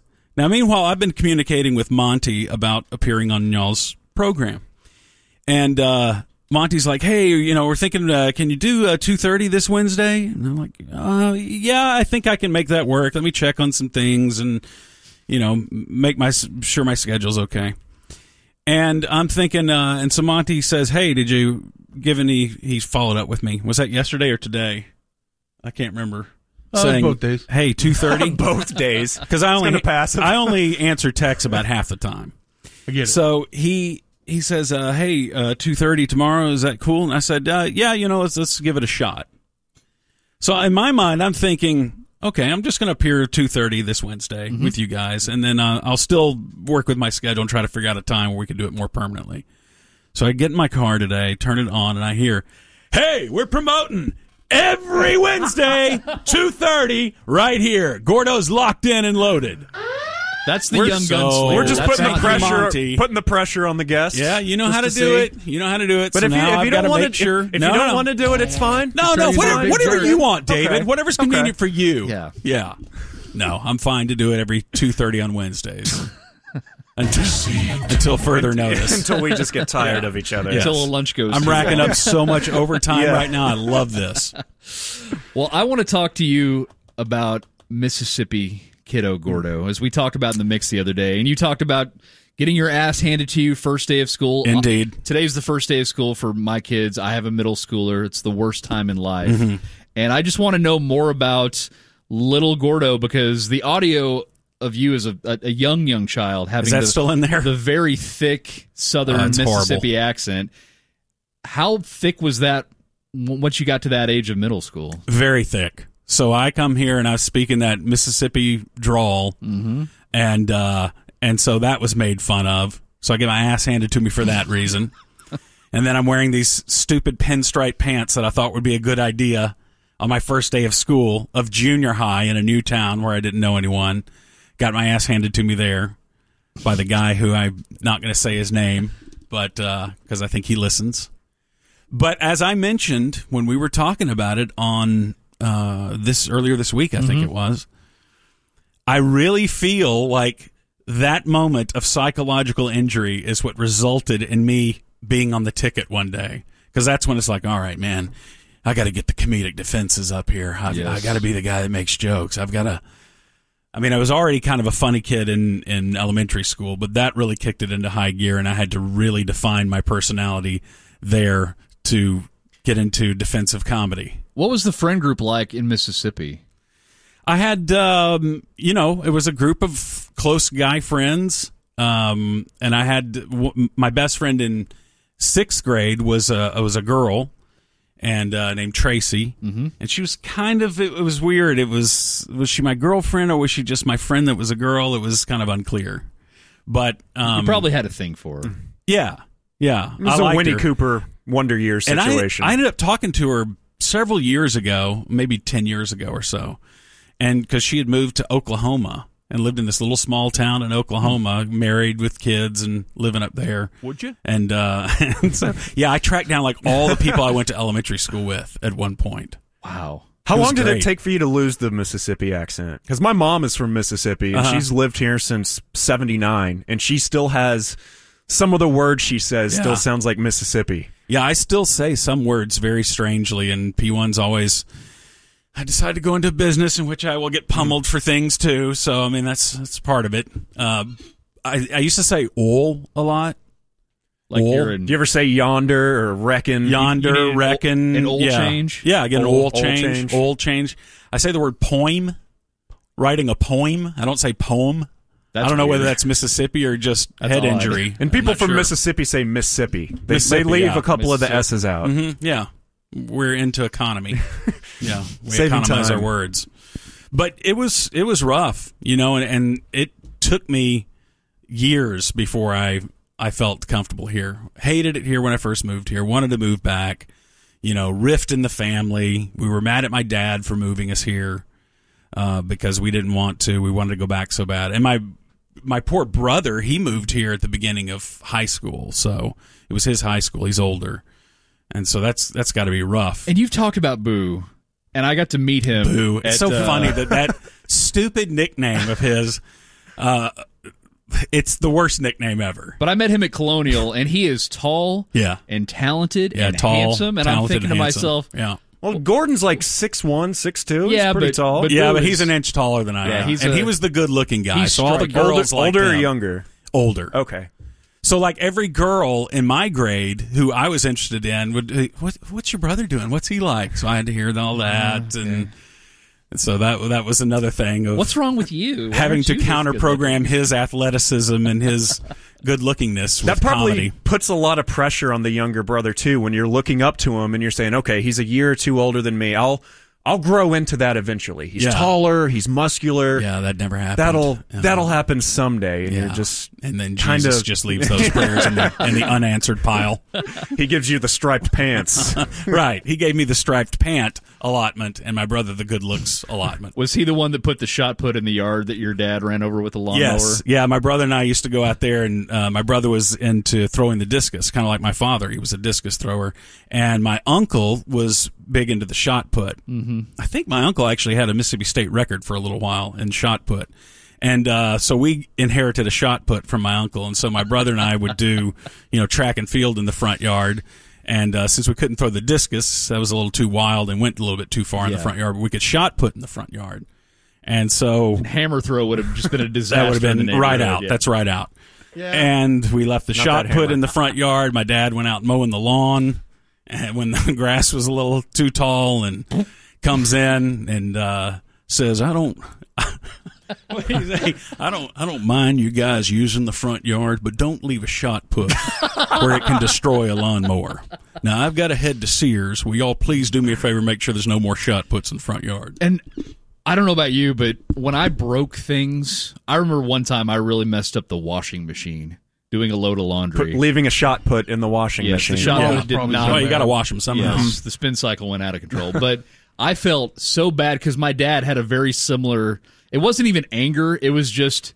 I'm just disappointed in your That's son. that's the worst. You feel like a I'd rather. moron. I figured you'd know better. And of course, I, hate just that. for whatever reason that broke me. Like I can't do anything right. Mhm. You know, you're in that. I think I was like ten or eleven, and that just stays with you.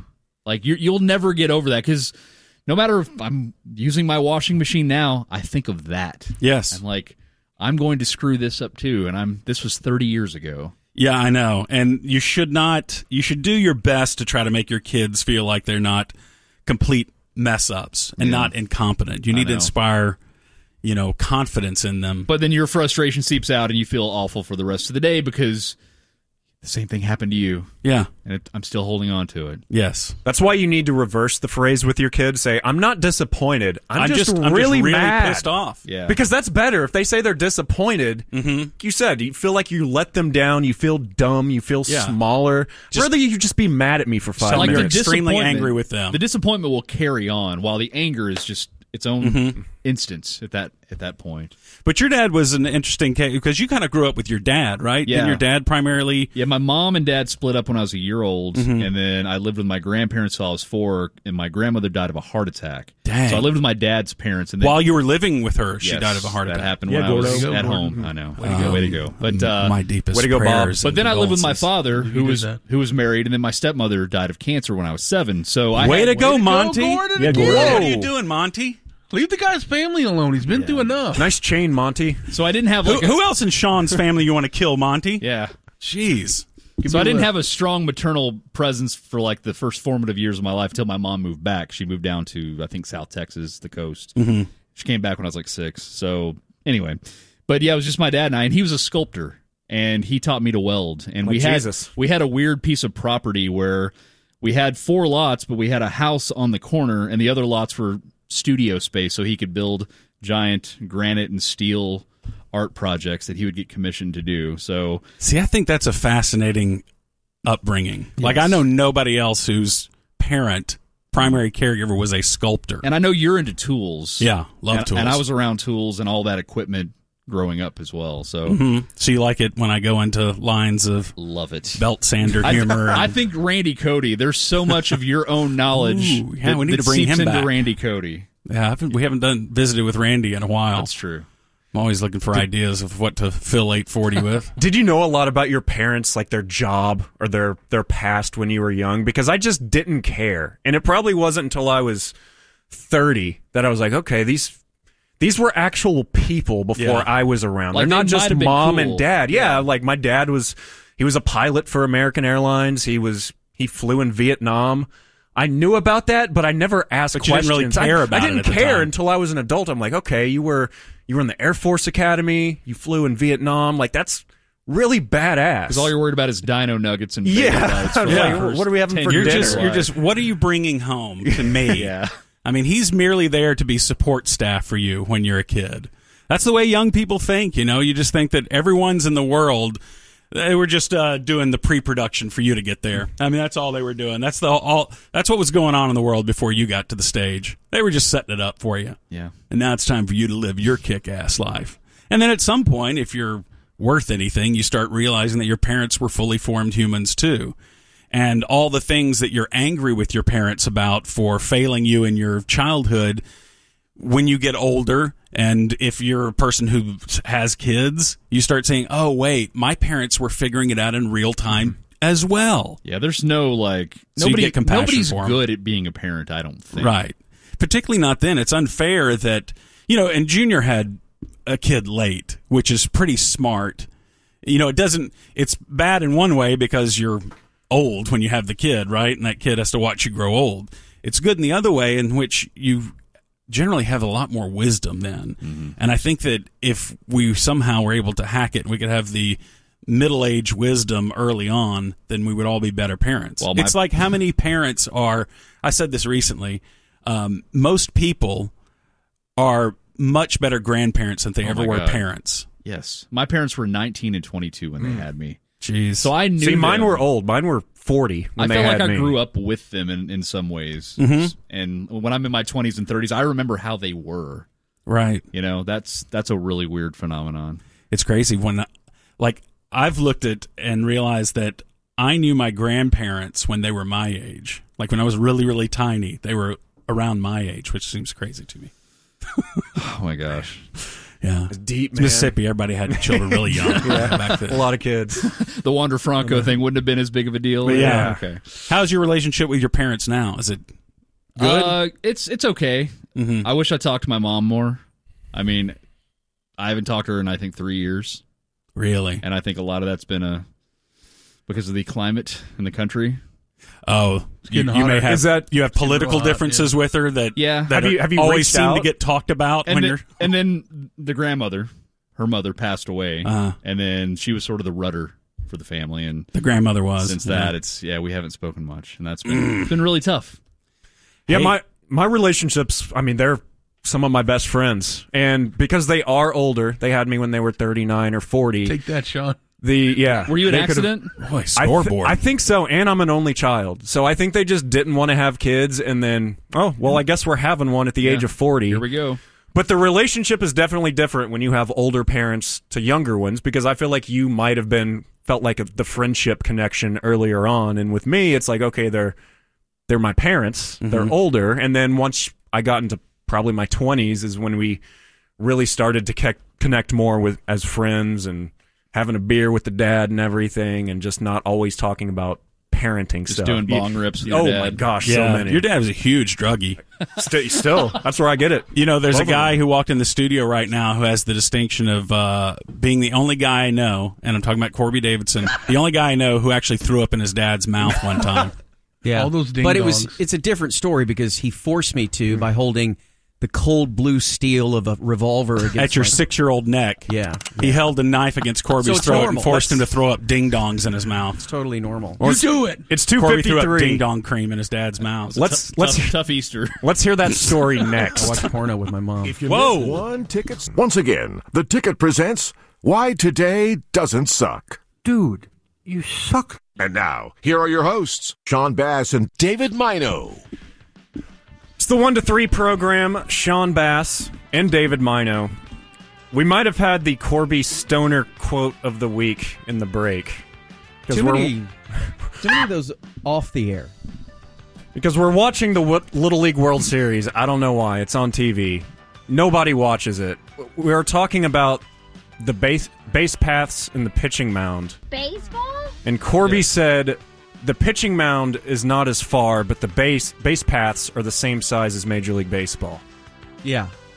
Now we so all just paused. look at, think of the dimensions. we all paused. But yes, But you were wrong. I was. I was wrong, Apologize. John. Yeah. I was wrong. Three o'clock. Here's Ham. Thank you, Mino. Eatsies Market and Bakery brings you Justo. Thank you, Hamo. We welcome in the hard line with Gordo and Davey sharing a mic. It's just so adorable. that's Look at right. them. Yeah. One on each end. Big old black veiny Mike. Hey, What? Just What? trying to keep a hold of it. I'm it gonna as it point it at my throbs. mouth, and then I'm There we gonna go. Yeah, and put it over in my mouth. and then I'm gonna put it on my Spit mouth. on it. Y'all are gross. I don't like anyone in here. Y'all are raw dog Work the too base. with no uh Yeah, Yeah, no protection. Nothing protection. on it. no nose muffin on there. 2023. Davy's head hanging off the end of the bed. Today is Wednesday, August 16th. The 228th day of 2023. 100 force trauma right to the larynx. bingo. anyway, go ahead, Monty. You're doing important 137 stuff. days left in the year. On this date, 1954, the first issue of Sports Illustrated hit the newsstands, Oh, featuring Eddie Mathews on the cover. Eddie Mathews is on the cover. Yeah, way to go, Corby. You got it right. Yeah, Thank you. good job, Corbs. Thank you. Snake. Thank you, Chuck. Of? Can we turn on the monitors in here a smidge so I can Oh. hear? Yeah. The mics have to be Yeah, off all for you the to mics- hear mics it. are All right, let's all turn our mics Sorry. off. For, Way to go, Dave. Oh wait, Bob's got the. Uh... Here you go. Here you go, Dave. Yeah, just put your ear to his ear. Hey, Dave. there's not a jack. Yeah, there we have too many mics and not enough We have too many Holes people, for- not enough mics. Yeah. headsets. We have a split. Splitter. You got Oh, a yeah. splitter. oh yeah, Split Splitty. finger. a Tiago splitter. Slit. Go while, ahead. while he Monty. splits it, I'll say for more than a decade after it was published, SI failed to turn a profit. The first edition had some clues as to why. On there, they had the Duke of Edinburgh talking about how to buy a puppy, and there was also a piece on how poison ivy could be worked into a salad. Did they not have enough sports back then? I guess it was football season, but it was preseason and Free. bad time to launch. Eddie Mathews second in the MVP voting that year in the National League. What year? 59? 59. 54. Oh, 54. Yeah. Way to go, Sean. Sorry. 1989, right? No. Close. Guess again. Uh, in 1920, Still had 40 homers in 54. Cleveland, at the time, Indian shortstop Ray Chappie Chapman Whoa, Monty. stepped into the batter's box to lead off the fifth inning, at which point Carl Mays of the Yankees struck the unhelmeted Chapman in the temple. he crumbled to the ground and died Oh. from HIV complications. Have a hot I don't- Carl yeah, and no. vote Republican. He died of That's AIDS. On the spot. Oh spot. no, let me keep reading. No, it was actually being hit by the pitch Who's got AIDS? in the head. Makes more sense. That was like No Country for Old Men. Like a piece of his skull went through his brain. to give him AIDS. That happened. But he in had the to he had to call the coin toss. Yeah. And then before there were the boot skid marks on the ground. It happened in No Country from the cow No what thing, tree? right? The cattle your whole Yeah. Hey, Anton, brain Call, gun. call what? Call it. Wh- Why? I got to know what I'm putting up. Just call it. Sir, uh, I feel like you. What do I have to lose? You don't have much more than call it. Call it. He's do you- like what do you Anton mean? I'm Chigurh just- if he's Hodor. Would you like a pack of Marlboros? Or what are you doing here? I can't rightly bet until I know what, what we're betting on. oh no, it's the one man play. What does Gandhi think about that? I wonder. let's not. Oh. I don't know what I'm calling. Gandhi died. Man. I really don't think that that's allowed. well, he's not around anymore, so we need someone to represent Gandhi. Mm-hmm. You pick him bad. He demanded And Gordon, LaVar Arrington. when I took over that he get to do as much Gandhi as he pleases. Dude, Dave gets so excited. too. nothing beats dolls. Don't know if I understood it, but thank you, Gandhi. Gordon, talk to him. Yeah, let Gordon be the Davy Wrangler. At the, Gandhi, de- did you hear about the baseball player at the debrief. got could hit in the head and died of AIDS? He did not die of AIDS. In 1962, I want Gandhi to do Anton Chigurh. Yeah, you recreate the scene? yeah. You have to call it. You have to call it. You have to call it.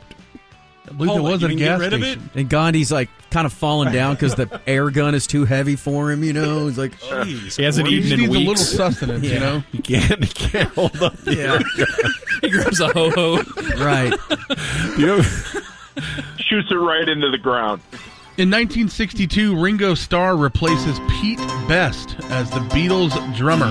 He was the best, and he was replaced. Best. The best drummer. More music news in Not 1975. him. The worst. I heard this was a big deal.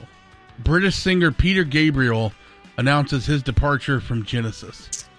Peter, what? That always threw me for a loop because Gabriel? we only knew Gay. Genesis as Phil Collins' Blind former Griddle? band, and then Peter Gabriel became a thing and started having massive hits on his own, and we were like, "Wait, he was in Genesis?" Mm-hmm. Solsbury Hill, yes, Sledgehammer. They didn't want to do Sledgehammer in Genesis, and he left. Yeah. Well, it was a big deal when he left, though. I mean, that was their first big album. Yeah, it was big time. Yeah. After Peter Gabriel made his exodus, um, die. It. Uh, In 2003, I mean, those are They the numbers. both, they both really made a lot of money. Apart. So he made his exodus from Genesis. Is that what you're saying? Oh, Yeah, there you go. Oh, oh, my bad. there's the Bible sword, Dude. Bob, They, loving my Bible humor. The minis- I think the ah. minister's son ah. that do Where's, that kind where's of. Leviticus and all this? In 03, 18 year old Portuguese phenom Cristiano Ronaldo made his debut for Manchester United. Did he do a bunch of unnecessary stepovers? And then take a picture of himself shirtless and post it online? hanging on the wall. The Red Devils that. beat Soccer Bolton humor. 4 I love 0. That means zero, Corby. Oh, Dalton. In 2015, Aussie Jason Day set a major championship record at Whistling Straits in the PGA Championship by shooting That's what? on your bag, Corby. it is. Corby wore his whistling What did he straight shoot, Corby? Was that the tiny backpack? Uh, yeah, it is. Where's the women at? It's not that tiny. Uh, what was Is Jason that a Day? Whistling Like Straight? 21 under or something like that? the Whistling Straits. It's as big as other backpacks. I saw them at the Granada last weekend. Pretty good. Just whistling all the straight guys. Did you do at Whistling Straits? What'd he shoot? 20 under par. Oh, I said 21. on, I was close. question. You went over. Remember what happened Lose. at Chambers Bay with him? Is that when he had the headaches? Had the vertigo. Yeah, that's right. He must have doo-dooed at Whistling Straits. P1 birthdays today. Hey, Monty, today my best friend Lee turns 38. His leader is the Shart of Turin and the doo-doo credit card Davey used to make it. You got a little confused there. Yeah, now what was that story again, Davey? You were at a Whole Foods, Uh, no, it was Trader Joe's. and what happened? He And had a I- problem. I, soiled myself in the frozen food aisle. Mm. And then someone stole my identity because my credit card was indented into the undies that I discarded. Because you're using the credit card to scrape your off your cattle ass. no, The no. credit card fell into it. Yeah, it was just, yeah. It was just in my pocket, and it made an indentation. Right. And like Plato, it had the numbers of his credit card That's in right. reverse. That's right. It was like the bad guy from No, Would that that not be like the dating. most Davy way to get his bank account drained, though? Yes, that they got his credit card number from his own doo doo. Cleaned him out.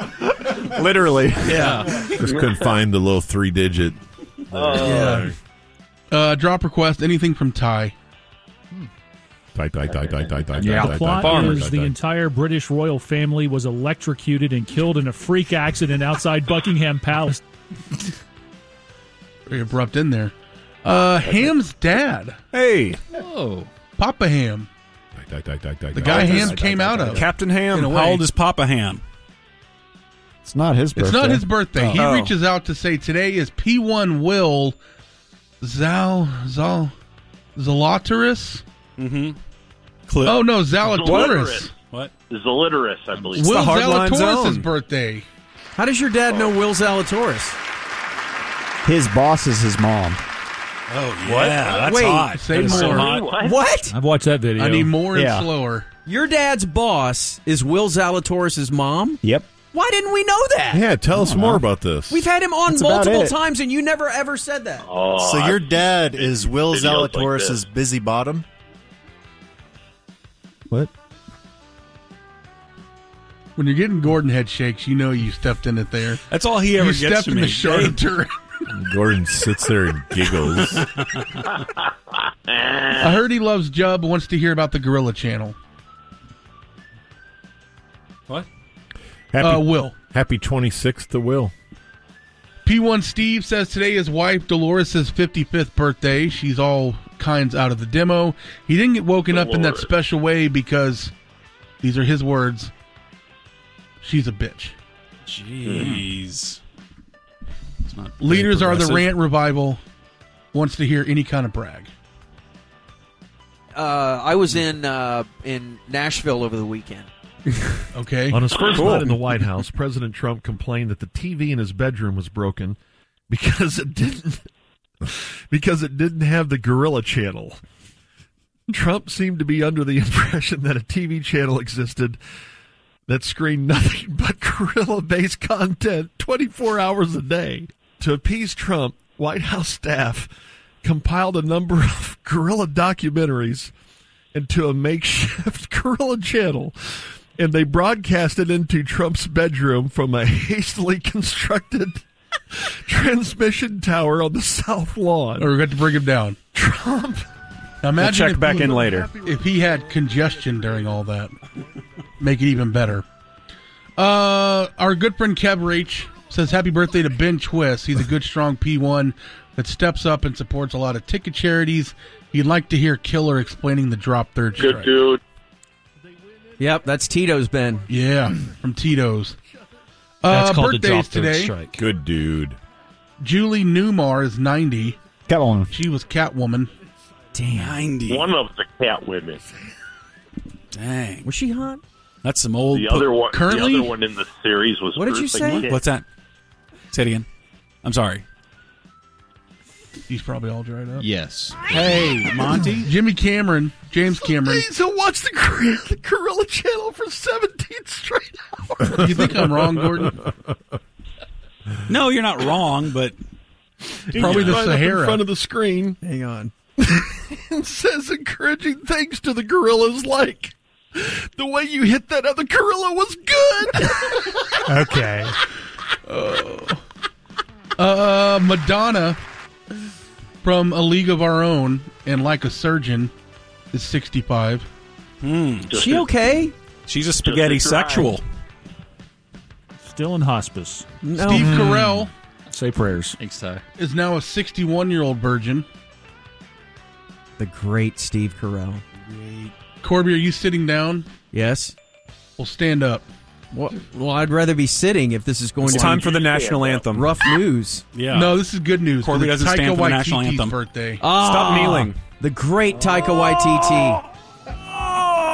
He's from Good your friend of favorite mine, Hitler Taika movie. Waititi. Jojo Rabbit. What We Do in the Shadows. Thor. Maybe a little overrated. No. Oh, okay. I'm sorry. I'm No. so sorry. Didn't I'm you so tell me maybe? Oh, You told me he was the best Five. live action Hitler you've ever seen, right? He was, for sure. Yeah, 100%. Corby grades all the live action yeah, he, Hitlers. he's at the top five for sure. Today in the Uh, Power Hour. You Top Darvish five Hitlers. 37, Young Thug is 32, Blind of Shields. Two. Uh, also, Born to Stay Four. Now Dead. Also, Corby. It's not too far off. Cole Like some Brennan. props for that countdown. Cole Brennan died in 2021 Oh, no. no. of fentanyl. Didn't know he was dead. Two. Fentanyl. Fentanyl. Nil. Rainbow Warrior? Three. Yeah. And, And we're Prince done. Von Eric, but who cares? And What? Tie. What? Tie.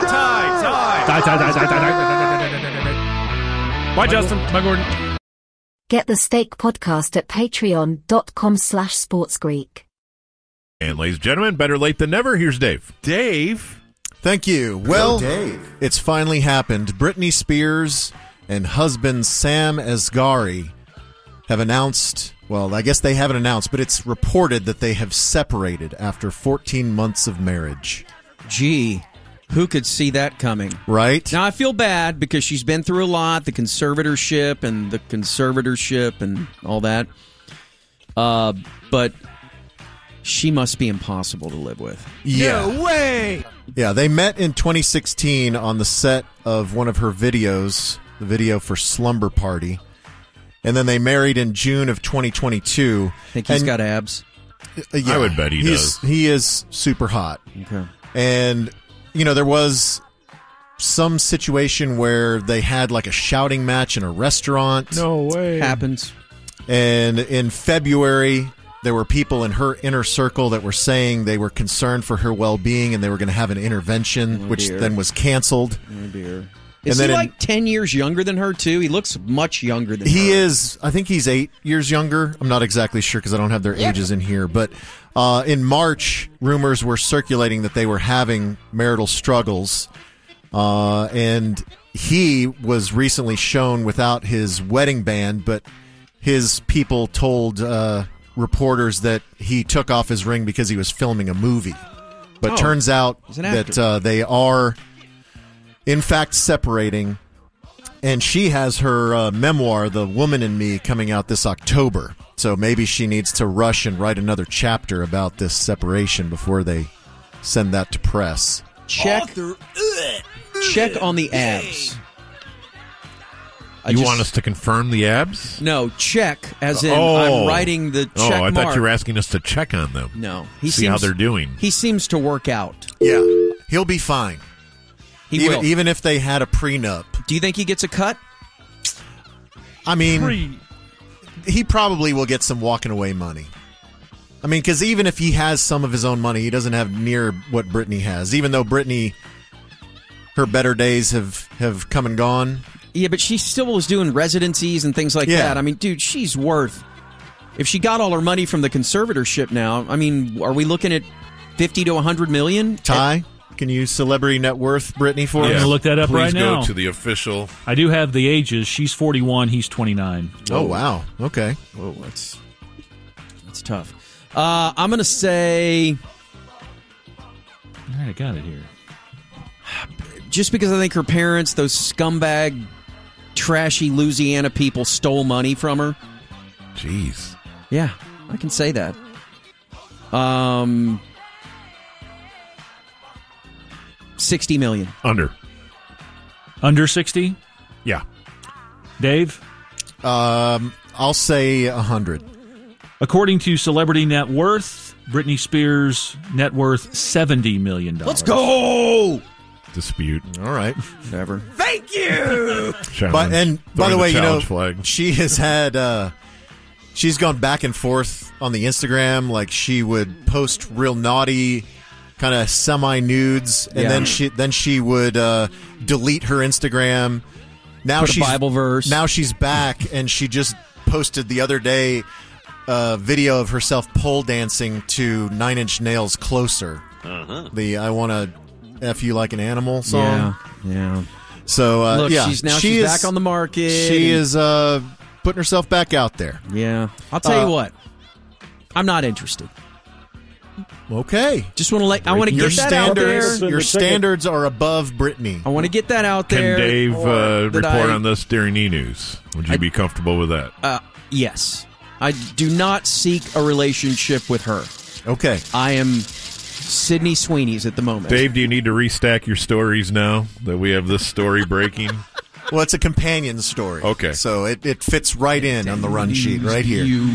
Uh, speaking of stealing money, we have another update on the uh, Blindside saga because Michael Oher has filed suit against Sean and Leigh Anne Tuohy, the couple that allegedly adopted him but signed him into a conservatorship instead. Yeah.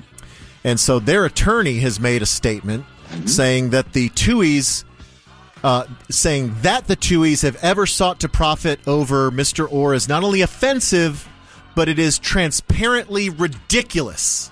So I found out something today that I did not know. And that is uh, from Matt McClearin on the invasion this morning that this family, the Tuohy family, are worth like a $100 million. Yeah, I don't know how they made their money, but I know they are wealthy. Restaurants. They own like a lot of the KFC Taco Bell combo platters. Wow. Yeah, and sold them all, and, hmm. and like they're that might trigger the song here. I don't know. so much money. So they didn't need to grift No. off of Michael Oher? That's the weird part. There's no need for them to be like, oh, we need his money. They have all the money, or apparently they do. Well, that is what the attorney is saying. He's saying that recently Oher that recently Oher started to threaten the Tuohys about what he would do unless they paid him an eight eight figure windfall, and that it was a shakedown effort, Dave? trust account, Got it. into the trust account that they had set up for him. Goodness. So it is a very much a uh, a competing like which version of the story do you believe? I don't know if I want that kind of trust in my family. Yeah. But, I have uh, said they- that before. Do you trust that C? we caught it in time. But he he said C-bomb. sadly Mr. Oher has found a willing enabler and filed this ludicrous lawsuit in a cynical attempt to drum up attention in the middle of his latest book tour because Michael Oher has a book when your back's against the wall that just came out. So does Michael Oher need money? That's the next I don't. step Yeah, we need to uh, at. maybe he's blown through all his money, or he has a bunch of siblings and family that uh, you know he left behind when he lived with the Tuohys. That maybe they are grifting off of him. Can't he ask them for mo- like that would be the first place I would go is to mom and dad. I would like to speak on behalf of Michael Oher and say, even if he isn't, quote, blown through all his money, he probably has the rights to some of the money off his own life story. No, he doesn't. That's the point of all this. He doesn't have any. No, I'm saying he should. Oh yeah, That's what I'm saying. Right, but I th- I thought that the He doesn't have to be broke to want some of the proceeds from his own but story. they said they didn't get any money. That's their claim that they didn't. They're like we didn't get anything. it's a little sketch when you have a book and a movie, a bestseller and a movie that did very well. Who can you believe anymore? Uh, we interrupt E News for this important sports update from Nandor and Laszlo. And now we turn to Laszlo Cravensworth, who better be telling me my New York football giants are raring to go for Sunday's game against the Cowboys. Thanks, Nando. From your lips to Coach Daboll's ears. Big Blue is having a big season, but the Cowboys are on a roll themselves. So let's just say that for either team. The road to a W is going to be paved with blood, sweat, and tears. Here's my lovely wife, Nadja. Thank you, my love. Well, that is it for us tonight, New York. And from everyone at Channel 8 News, goodbye. Bye then. So you've That's it. seen the Doesn't look normal. You've seen the episode? Yes, yeah. Have you? No. Uh, oh, there was no. Do you- Was the water main break? Do you Yeah. consider that one of the best episodes you've seen? Yes, yes. It is cry laugh What out loud. nu- We're speaking of what, what we do in the shadows. Uh, Five. episode five of the new season. Yes, when um, the vampires have a water main break and they uh, accidentally leak a little bit too much information to the news lady on the street. And Nandor freaks out because he thinks he's told him too much about them. Yeah. Yeah, because he says, We have lived here for centuries. so now We've they're never bounty. seen. Yeah, sorry. Well, now they're never the mind. entire news crew. They, the only way that they can figure out how to stop it is to take over the TV station. okay, perfect. So, yeah, it's All right, we're out of time. All right, good stuff, David. And Dave. Let's quick hit some quick hits. First, a sad story out of Terrell as there was a fatal shooting near, not on the campus of Terrell High School, but near Terrell High School. Shortly before 8:15 this morning, officers were notified of a male subject on the ground near the corner of Trailview Drive and Town North Drive, about a mile from the high school. Uh, the victim was later identified as Demaria Jackson, a 17 year old male, and emergency crews performed life saving measures, but uh, he died later at the hospital. And then about 4:15 p.m., police announced that they had taken a 16 year old into custody in connection with the shooting, and that 16 year old now faces a murder charge. And uh, Demaria was a junior at Terrell High School, and I guess was headed to school when he was gunned down. And investigators believe a second person may be involved. You wonder how many times throughout the day here in the Metroplex where we live today, sports, that someone is in danger of something like that happening. Like, are we talking about, like, how much gunplay is out there in high schools? Like Yeah. way more than Who we can could ever we could ever imagine. Who can say? And- like, would it shock us if we knew the actual numbers? Yes. of humans with guns that are looking to gun down other humans Or that te- are teenagers, specifically that's what I mean. teenagers with guns. No, no, that's what I mean. Between the age of fifteen and seventeen, it's yeah. Surely there's more than we would hope that there are. Yes, it's one of those you don't want to know, right? Yeah, and so we don't know really if this was random violence or if he was targeted. there was a, a memo that was circulated to uh, parents and students saying that the uh, campus was going to continue with the scheduled school day, but they did add a police presence out of an abundance of caution. But a pep rally that was scheduled for this evening was canceled. So uh, hopefully they will find the Yeah. second suspect, and uh, we'll find out some more details. They on, canceled the pep rally. Oh yeah, on what happened there. Um, Why is there a pep rally right now? They get ready to play football? I don't know. Getting ready for week zero, right? I'll tell you what. Pep rallies are the dumbest thing on the planet. There. They're a, they're a relic of the fifties. They're so stupid. That's like just we we don't need pep rallies anymore. No. I guess it's an excuse for the cheerleaders to do their routine and for the band to play And the don't song. you have to like go to school early? For Listen, it I've tried this, guys. High school girls, huh? I've tried to shorten high school half times and not need both bands to play and for it to take half an hour for high school games. You guys aren't going to win this. No, everybody needs their moment to shine. Um, new details in the Ken Paxton impeachment case as House impeachment managers have filed new documents. And some of these documents have some juicy notes in there as they claim that Paxton repeatedly abused his power, helping his associate Nate Paul fight a federal investigation into his business. And then he masked this behavior by using burner phones and a secret email address. You're damn right. And they also have evidence that Nate Paul did, in fact, bribe Paxton by remodeling his home, and that he also facilitated Paxton's alleged extramarital affair by creating a fake Uber account that Paxton could use to mm-hmm. visit the woman that he was having an affair with at her Austin condo. So help me out here. Why would you need a fake Uber account? Like in the end, it's just So- traceable. Like Well, yeah, if- if it's- traveling to and fro. Yeah, if it's using your phone number and your debit Yeah. card or credit card, then your wife and your, I guess, employer could, if it's a company card or whatever, they could track your movements. And it's because this is all. I guess it is because this is state business. Especially if you keep going to the same Well, house it's- over it's and all- over. like wow, he really likes this house. well, it's all part of maybe yard work he's doing, it's all part of the bribe. trimming that, bush. You know what I mean? Whoa. It's all part of part of the kind of quid pro quo. Yeah. that. Nate Paul was saying, "I'll do this for you. You help me get out of this little sticky wicket I'm in." Yeah. so to speak. Good stuff. so to speak. And so, yes, the uh, the impeachment trial is set to start on September fifth.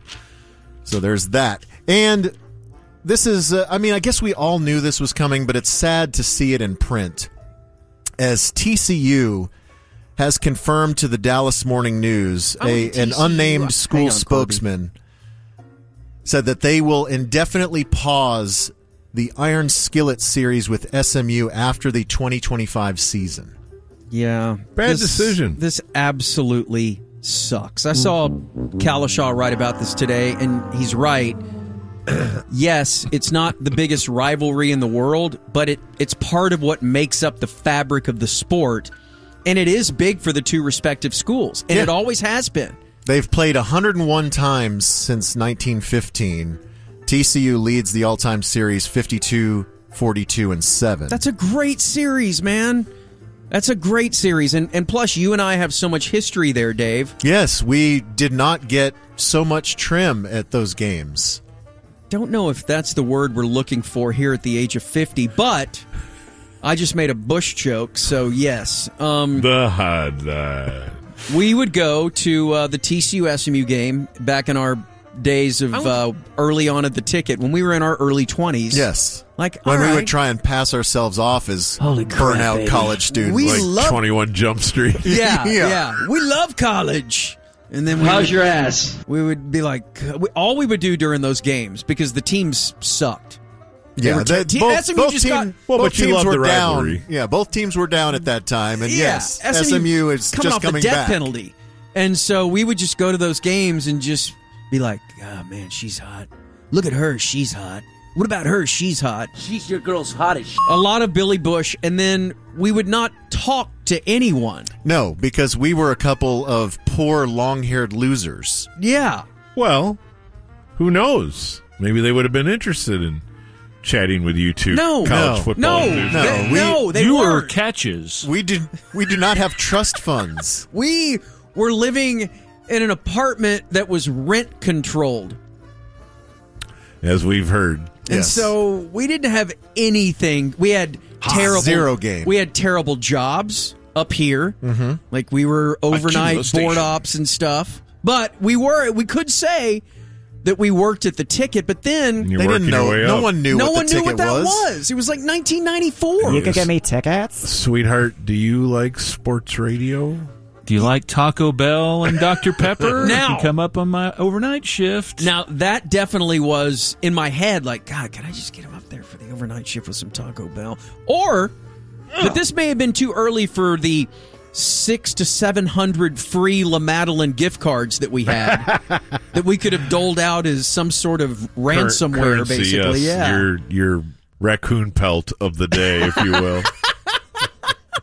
But yeah, man, I, this sucks. It really does. And for Sonny Dykes, who, I mean, he's seen both sides of it. He does know how important it is for SMU. And now I think TCU is basically just like, go away. Yeah, SMU. Get away. SMU is fighting and clawing to just get a seat at some table. Right. Yes. Somebody please accept us.